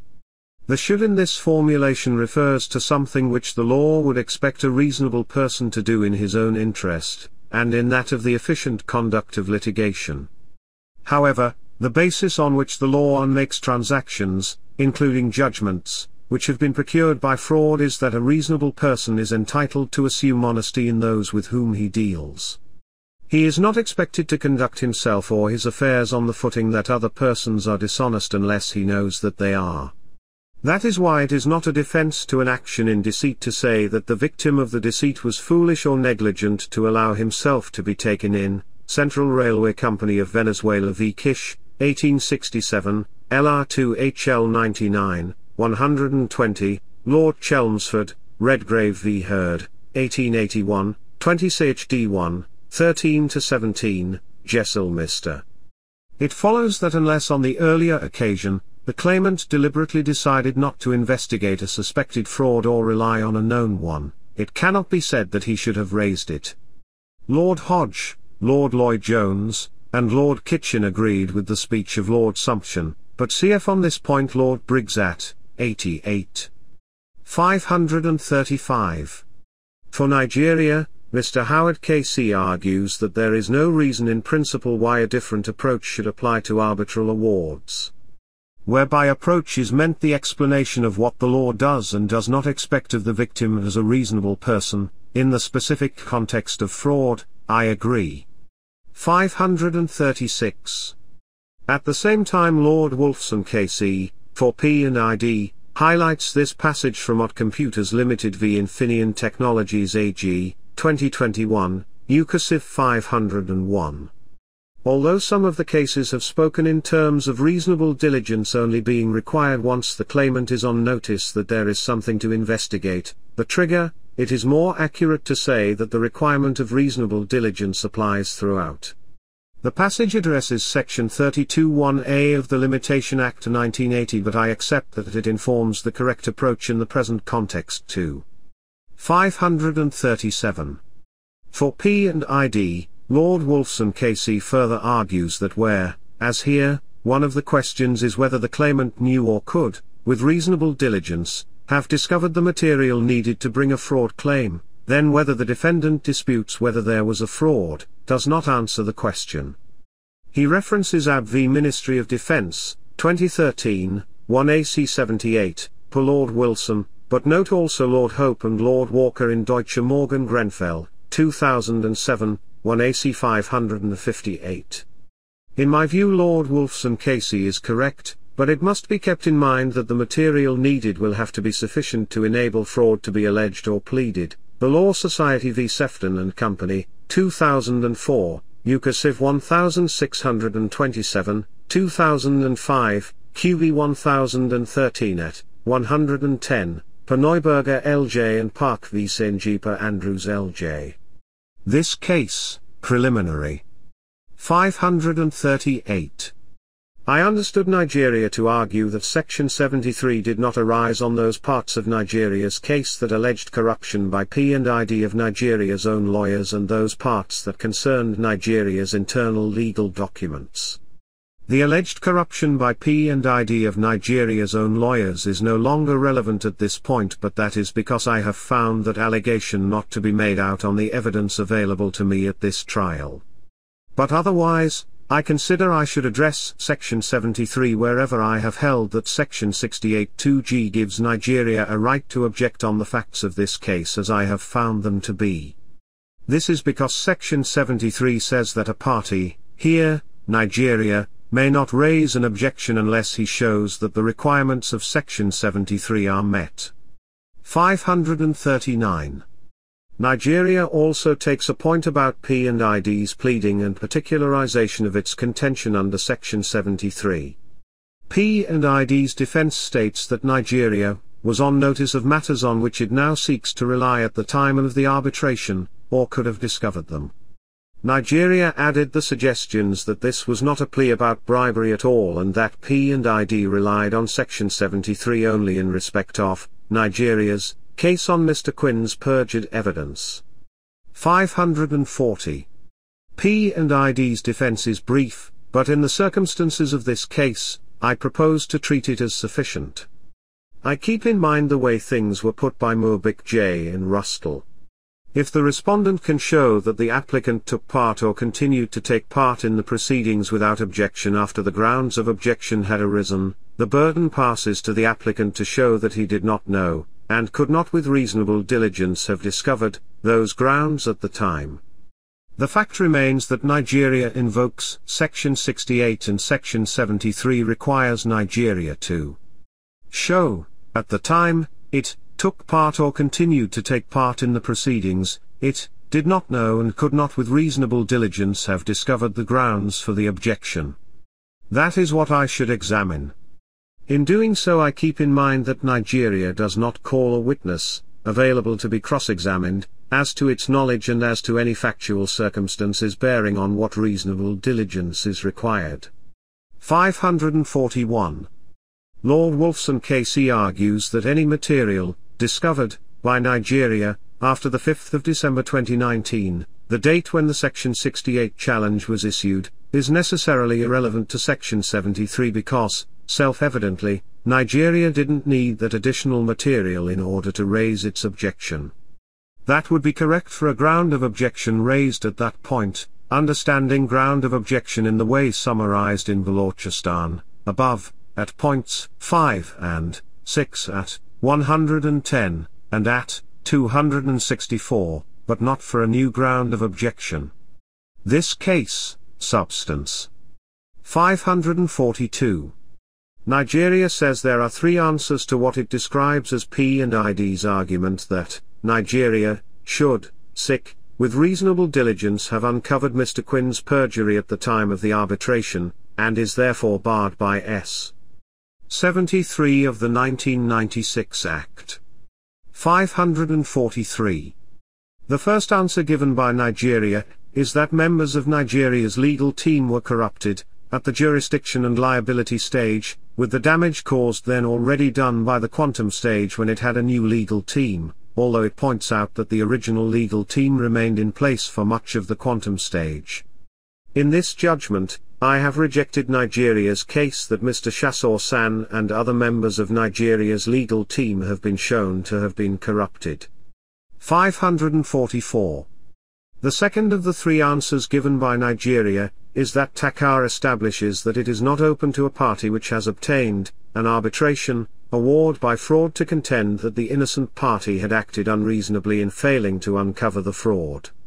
I have had to reject that argument, put as a jurisdictional limit, rather than as a conclusion on the facts of a case, in this judgment, by reference to the statute governing the position with regard to arbitration awards.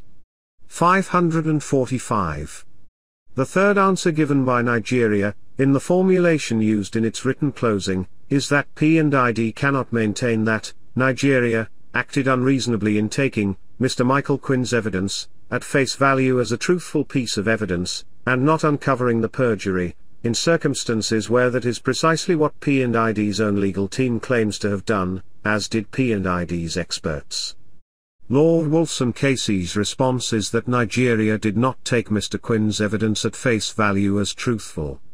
546.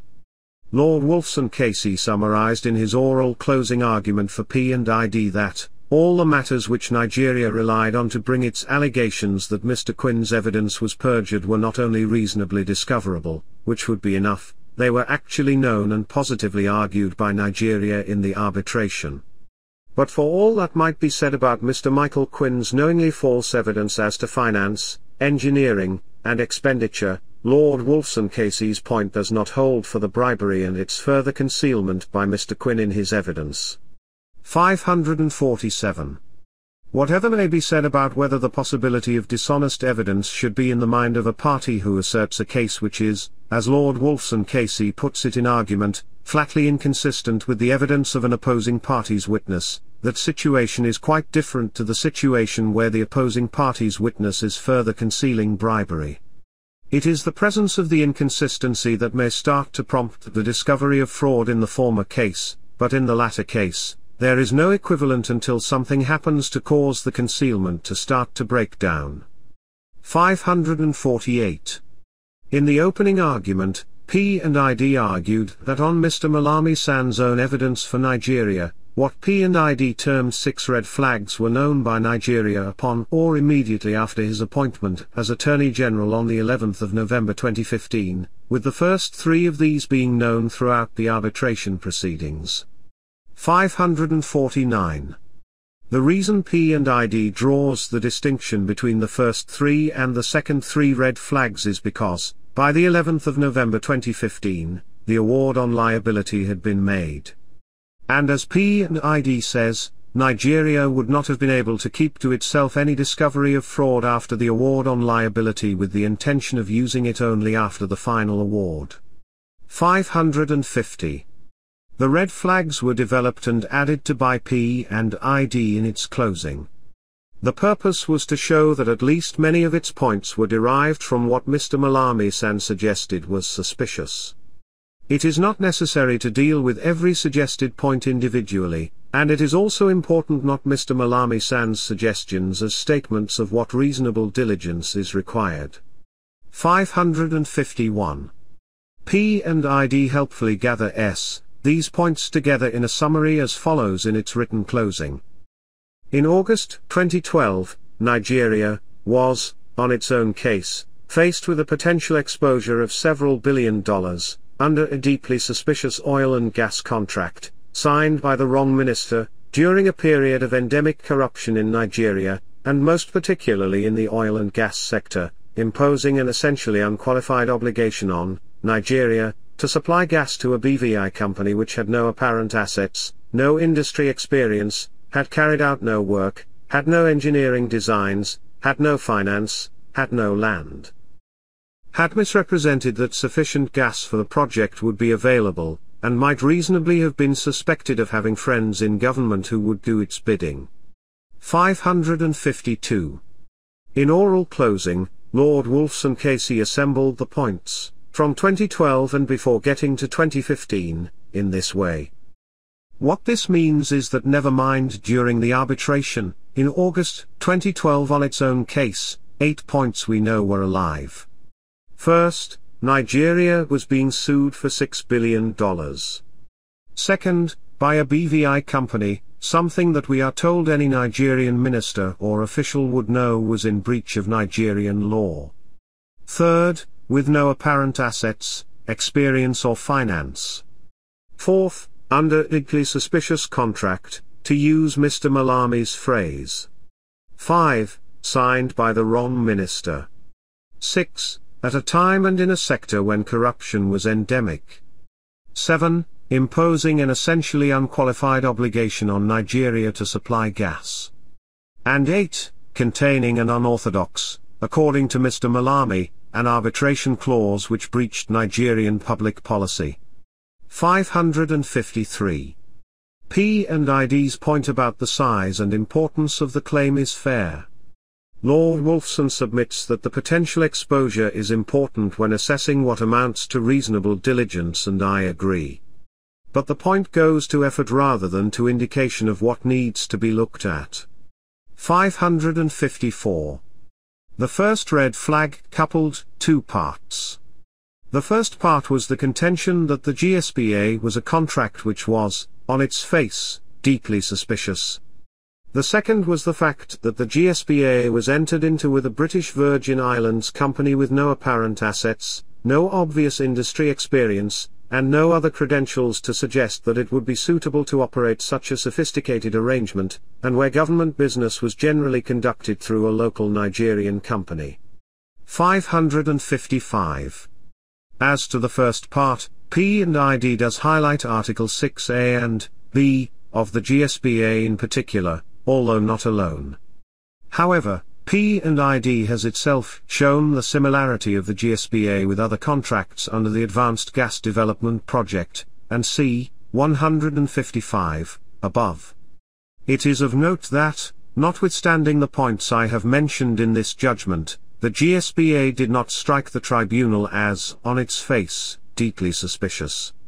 But I appreciate that part of P and ID's emphasis is that Mr. Malami, who was appointed in November 2015 and thus in the period of the arbitration, was saying it was suspicious to him.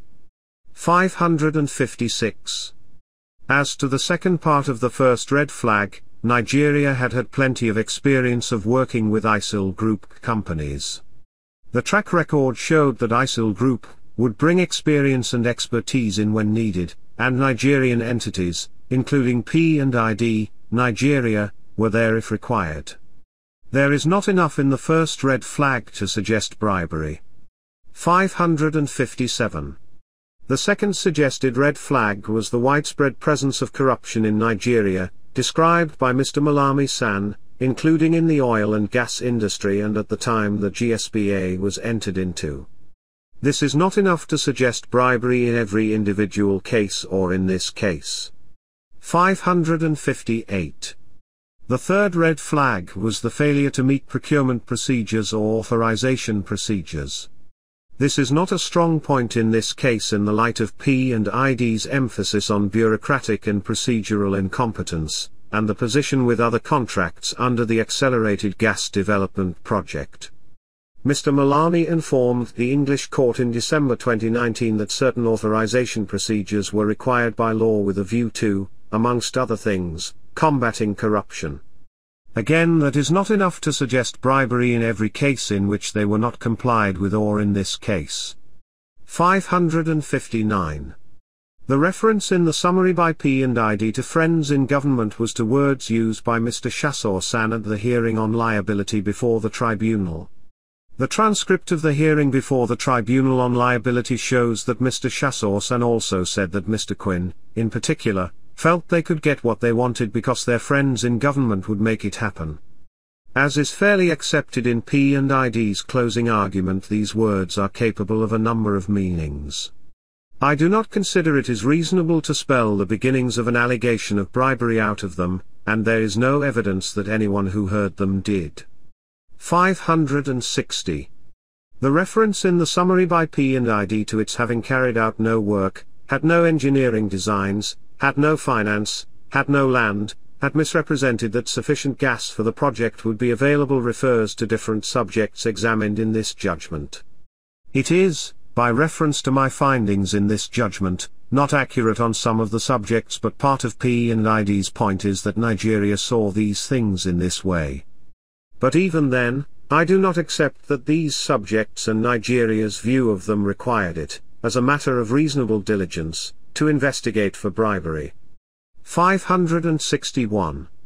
But as we move to the fourth to sixth red flags, the emphasis includes reference to what inquiry the first three flags, or some of their elements, prompted. 562. The fourth and fifth red flags were in February 2016, when Stephenson Harwood advised an investigation by a credible investigations company into P&ID's history, its financial capabilities and general track record and Mr. Shasore-SAN advised Dr. Kachikwu and Mrs. Adelaw that FRN should be investigating the manner in which P&ID came to be selected to perform the GSPA in order to determine if there are any illegality or public policy reasons why it should not be awarded damages. In fact, there was the appointment of the EFCC in February 2016 to investigate, and this found a number of things but not bribes. Part of P&ID's argument, pressed by Mr. Wolfson KC, is that given the points in its summary at 551, or assembled at 552, above, or the first three red flags, this all could have happened in 2012 rather than 2016. 563. But even 2016 is within the period of the arbitration, and thus relevant to Section 73. The EFCC recommended in June 2016, Red Flag 6, after what it termed an interim investigation a further detailed investigation into the circumstances surrounding the award of the contract and the key parties to the transaction. That development does not in itself take things further in relation to bribes. P&ID points out that writing in February 2016 about its investigation, the EFCC said it was investigating what it described as a case of conspiracy, abuse of office and misappropriation of public funds, but at that point that was not, I consider, doing the best I can with incomplete materials, an accurate description of what it was looking at, or what Stephenson Harwood or Mr. Shasore-SAN had advised. 564 None of the points to which P&ID draws attention would have enabled an allegation of bribery to be raised or made in the present case or of the dishonesty in Mr. Quinn's witness statement in not referring to bribes. Nor, even if I take them together, do I consider that the points show that reasonable diligence required Nigeria to look for bribery in this case. There were many other things, specifically identified, to look into. Lord Wolfson KC in closing was strong in his criticism of Nigeria for not taking steps that were recommended, but what matters is whether reasonable diligence required Nigeria to look for bribery whilst dishonest evidence further concealed it. 565. P&ID contends that a reasonably diligent sovereign state would have put in issue during the arbitration the question of whether the GSPA, had been preceded by payments to Nigerian officials and whether it had been procured by corruption. That springboard, says P&ID, would have required Mr. Michael Quinn's statement explicitly to address that point, and given, Nigeria, grounds for disclosure of relevant documents. P&ID also contends that a reasonably diligent sovereign state would have sought disclosure of documents relating to the GSPA. 566. But to put in issue during the arbitration the question of whether the GSPA had been preceded by payments to Nigerian officials and whether it had been procured by corruption, let alone seek an order in the arbitration for disclosure directed to that issue, would have required Nigeria to be aware of grounds for doing that. It did not have that awareness and Mr. Michael Quinn, Mr. Cahill, and P&ID were not going to reveal the truth. Indeed they were bribing or making corrupt payments to keep the truth concealed and, through retention of Nigeria's internal legal documents, monitoring Nigeria's awareness of the truth. 567. P&ID suggests that if an order for disclosure had been made in the arbitration there is no reason to believe that the documents disclosed in the initial round of disclosure in the present challenge under Section 68 would not have been disclosed. These showed some reference to some pre-GSPA payments. Respectfully, even if a sufficient foundation for an order for disclosure could have been established in the arbitration, I do not accept that the documents suggested would have been disclosed. Throughout the arbitration P&ID was maintaining the false position originally represented by Mr. Michael Quinn on its behalf that what he had said in his witness statement explained how the GSPA came about. 568. P&ID adds still further steps that it says reasonable diligence would have involved. In doing so it again uses against Mr. Malami-SAN that which he pressed in favor of Nigeria in 2019. P&ID does so by saying that reasonable diligence required the further steps to be taken earlier. The further steps include obtaining the P&ID case file from the Ministry of Petroleum Resources, looking into due diligence and procurement procedures, budgetary provision and operating license, asking other departments and oil and gas companies about Mr. Quinn and P&ID, and exploring the roles of Dr. Lukman, Mr. Ajumogobia, Mrs. Grace Taiga, and Mr. Tijani. In the case of Mrs. Grace Taiga, this was because she witnessed the GSPA and public procurement procedures had not been followed. 569. But the reasonable diligence with which I am concerned is confined to reasonable diligence that would have discovered the grounds for the objection, that is of the award being obtained by fraud or the award or the way in which it was procured being contrary to public policy because of bribery or corrupt payments, because of false evidence in connection with them, and because of what happened with Nigeria's internal legal documents. Nothing in my judgment began that path until after the arbitration, and indeed until Nigeria first began to acquire knowledge of the bribery of Mrs. Grace Taiga, and that P&ID had Nigeria's internal legal documents. 570. Nigeria first began to acquire knowledge of the bribery of Mrs. Grace Taiga when she was interviewed by and gave a statement to the EFCC in September 2019.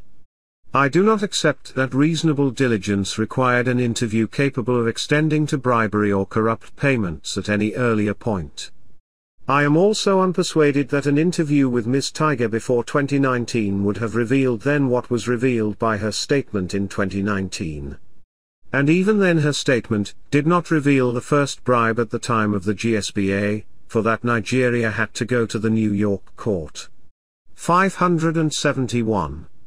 P&ID says that had Mr. Malami directed the EFCC to obtain Mrs. Grace Taiga's bank statements they would have been produced in a matter of days, as happened when he eventually sought them in 2019. But the starting point is a basis that makes that step reasonable, and that was not, in my judgment, before 2019. 572. Nigeria first began to acquire knowledge that P&ID had Nigeria's internal legal documents on the 29th of October 2021 when that was disclosed to it by Kobre and Kim. It knew nothing about what was going on in relation to those documents before then, and reasonable diligence required nothing from Nigeria in that connection. 573. Under Section 73, Nigeria has shown me that, at the time it took part or continued to take part in the arbitration, it did not know and could not with reasonable diligence have discovered the grounds for its objection under Section 68.2g. Accordingly, it did not lose its right to object under Section 68.2g. Conclusion? 574. In the circumstances and for the reasons I have sought to describe and explain, Nigeria succeeds on its challenge under Section 68. I have not accepted all of Nigeria's allegations. But the awards were obtained by fraud and the awards were and the way in which they were procured was contrary to public policy. 575. What happened in this case is very serious indeed, and it is important that Section 68 has been available to maintain the rule of law. 576. Section 68, 3, provides 3. If there is shown to be serious irregularity affecting the tribunal, the proceedings, or the award, the court may a. Remit the award to the tribunal, in whole or in part, for reconsideration. b set the award aside in whole or in part, or c. declare the award to be of no effect, in whole or in part.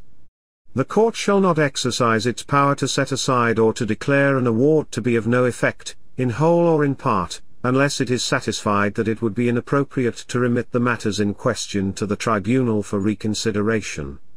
577.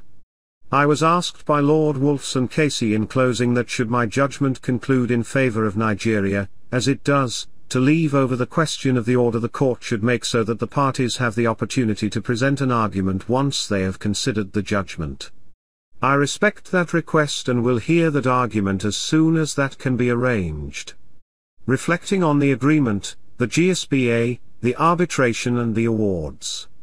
578 the GSPA had said that its objective was to provide for the construction of gas processing facilities by P&ID encompassing the provision of wet gas by the government and the processing of the said wet gas by P&ID utilizing two or more process streams with a total capacity of up to 400 MSCF together with all utilities, support and maintenance facilities at the site, and the provision of lean gas by P&ID to the government as set forth in this agreement and its appendices and to operate and maintain the facilities in an efficient manner.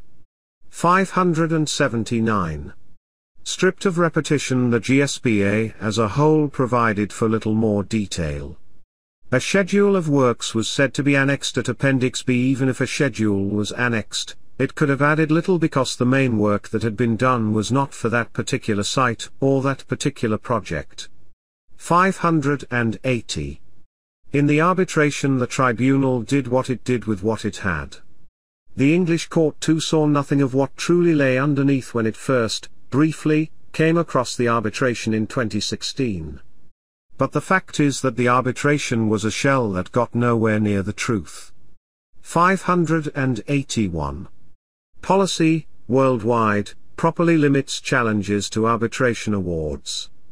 In the present case a challenge has been available and, in my judgment, has prevailed.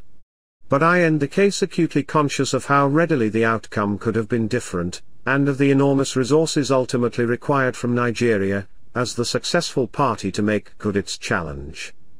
I highlight the possible consequences if Mr. Andrew had drafted Mr. Michael Quinn's witness statement a little more cautiously and if P&ID had not retained Nigeria's internal legal documents during the arbitration. 582.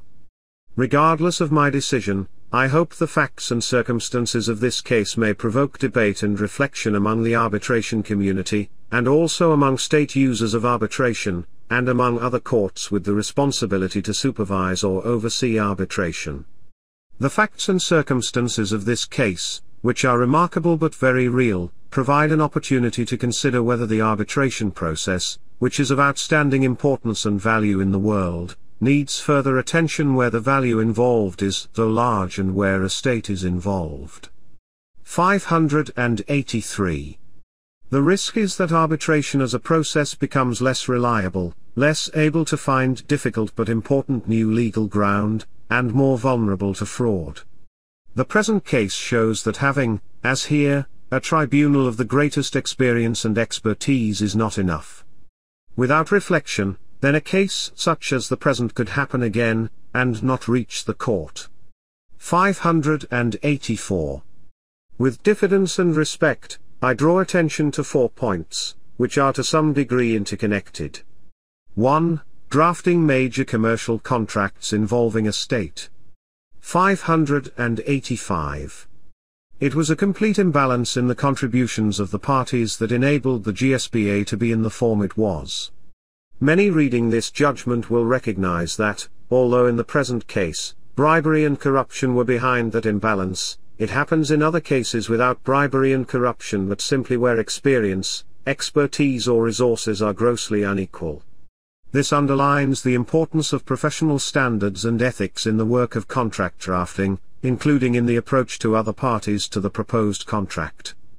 It is why some contributions of pro bono work by leading law firms to support some states challenged for resources, this is not to say, one way or the other, that Nigeria is one of those, is so valuable, in the interests of their, often vulnerable, people. In the present case, there were other contracts too, with different counterparties. Their terms and circumstances are not identical, but the overall risk could have been a multiple of the 11 billion US dollars now involved in the present case. 2. Disclosure or discovery of documents. 586. It has been the disclosure or discovery of documents that has enabled the truth to be reached in this case. I highlight the disclosure orders made by courts in this and other jurisdictions. The disclosure secured from P&ID and third parties through court processes has been remarkable and crucial. And but for disclosure orders, the Sunrise episode would not have been revealed from Nigeria.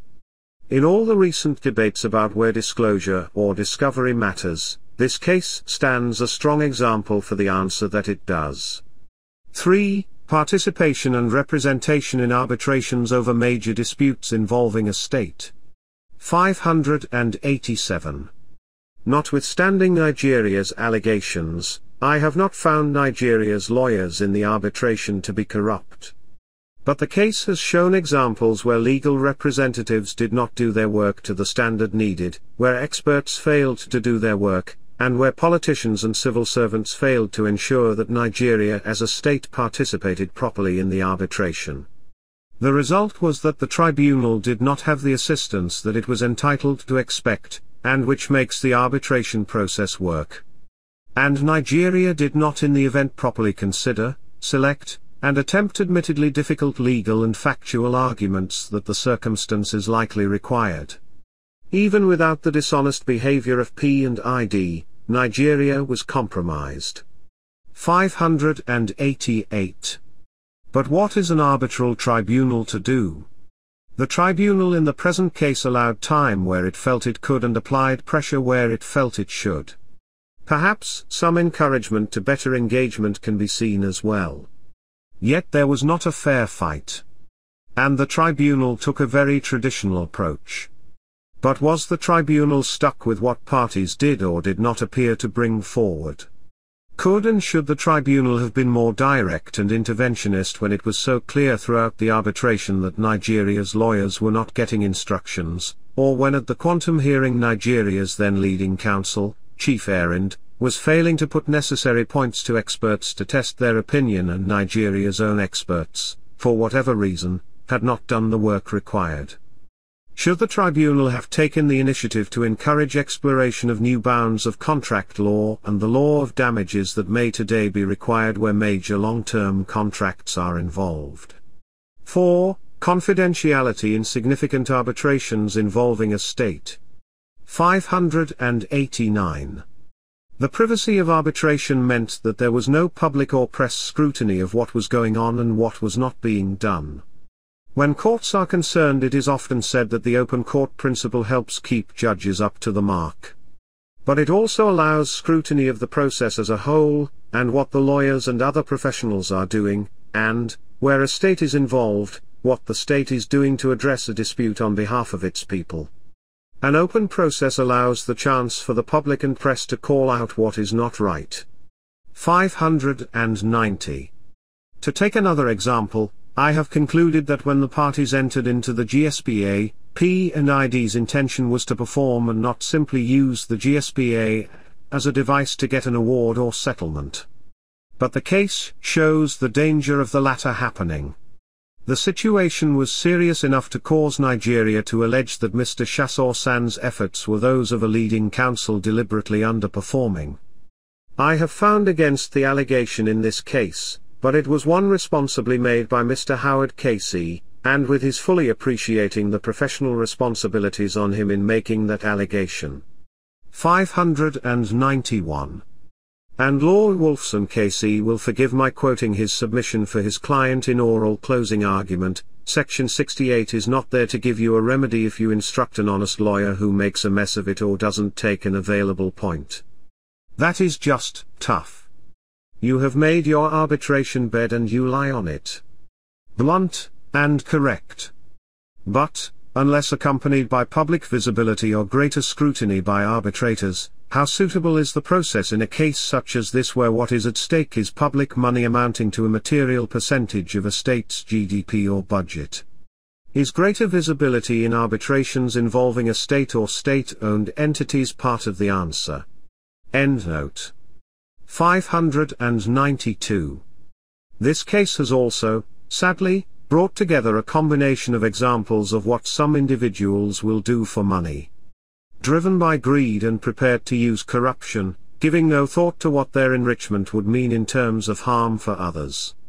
Others that in the present case include the people of Nigeria, already let down in so many ways over the history of this matter by a number of individuals in politics and administration whose duty it was to serve them and protect them. 593. I will be referring a copy of this judgment to the Bar Standards Board in the case of Mr. Trevor Burke KC and to both the Solicitors Regulation Authority and the Bar Standards Board in the case of Mr. Seamus Andrew. I trust that these two regulators of the legal profession in England and Wales will consider the professional consequences of the conduct of Mr. Burke KC and Mr. Andrew in relation to Nigeria's internal legal documents. As a separate matter, although there was an argument before me about the acceptability of the remuneration arrangements for Mr. Burke KC, that would be a satellite point for the issues I have the responsibility to decide and is best left for the regulator for whom it will be a central point. 594. Against the deeply unhappy matters to which I have referred in the last two paragraphs, I am pleased to record that the trial was fought and presented on both sides to the highest professional standards. The expertise and tenacity shown by Mishcon de Reya and Nigeria's team of counsel, Mr. Howard KC, Mr. Riches KC, Mr. Ford, Mr. Pascoe, and Mr. Malab, has made the difference in getting to the facts, although some allegations were not made out. But I wish to mention in particular Quinn Emanuel and P&ID's team of counsel, Lord Wolfson KC, Mr. Milner KC, Mr. Hoskins, and Mr. Evans. Their professionalism in ensuring that all points were properly and responsibly taken for their client in a difficult case, whilst at the same time ensuring both at and in advance of the trial that their duties to the court, especially as regards their client's disclosure of documents, were assiduously honored, has my respect and profoundly deserves that of their client. 595. And so to the last point. Sir Ross Cranston has recently heard his last case in the High Court of England and Wales, although he remains fully involved in the legal system, here and overseas, in other significant roles. The facts and argument presented across the eight-week trial before me were in material respects different and of course far more developed from those put before Sir Ross at the interim hearing in July 2020. But that makes his decision and written judgment on that interim hearing the more impressive still for the acuity, independence, and courage involved. Without that decision and judgment, an injustice would have remained, the population of an entire federation of states would have suffered from the economic consequences, and fundamental damage would have been left to the integrity of arbitration as a process. This podcast was brought to you by BG Media App and barglobal.net. Please subscribe, like, and share this video. It does help support our productions. Also, Please download the BG Media app to access the best works of the world's authors rendered in audiobooks, along with great experience through music, podcasts, and vodcasts.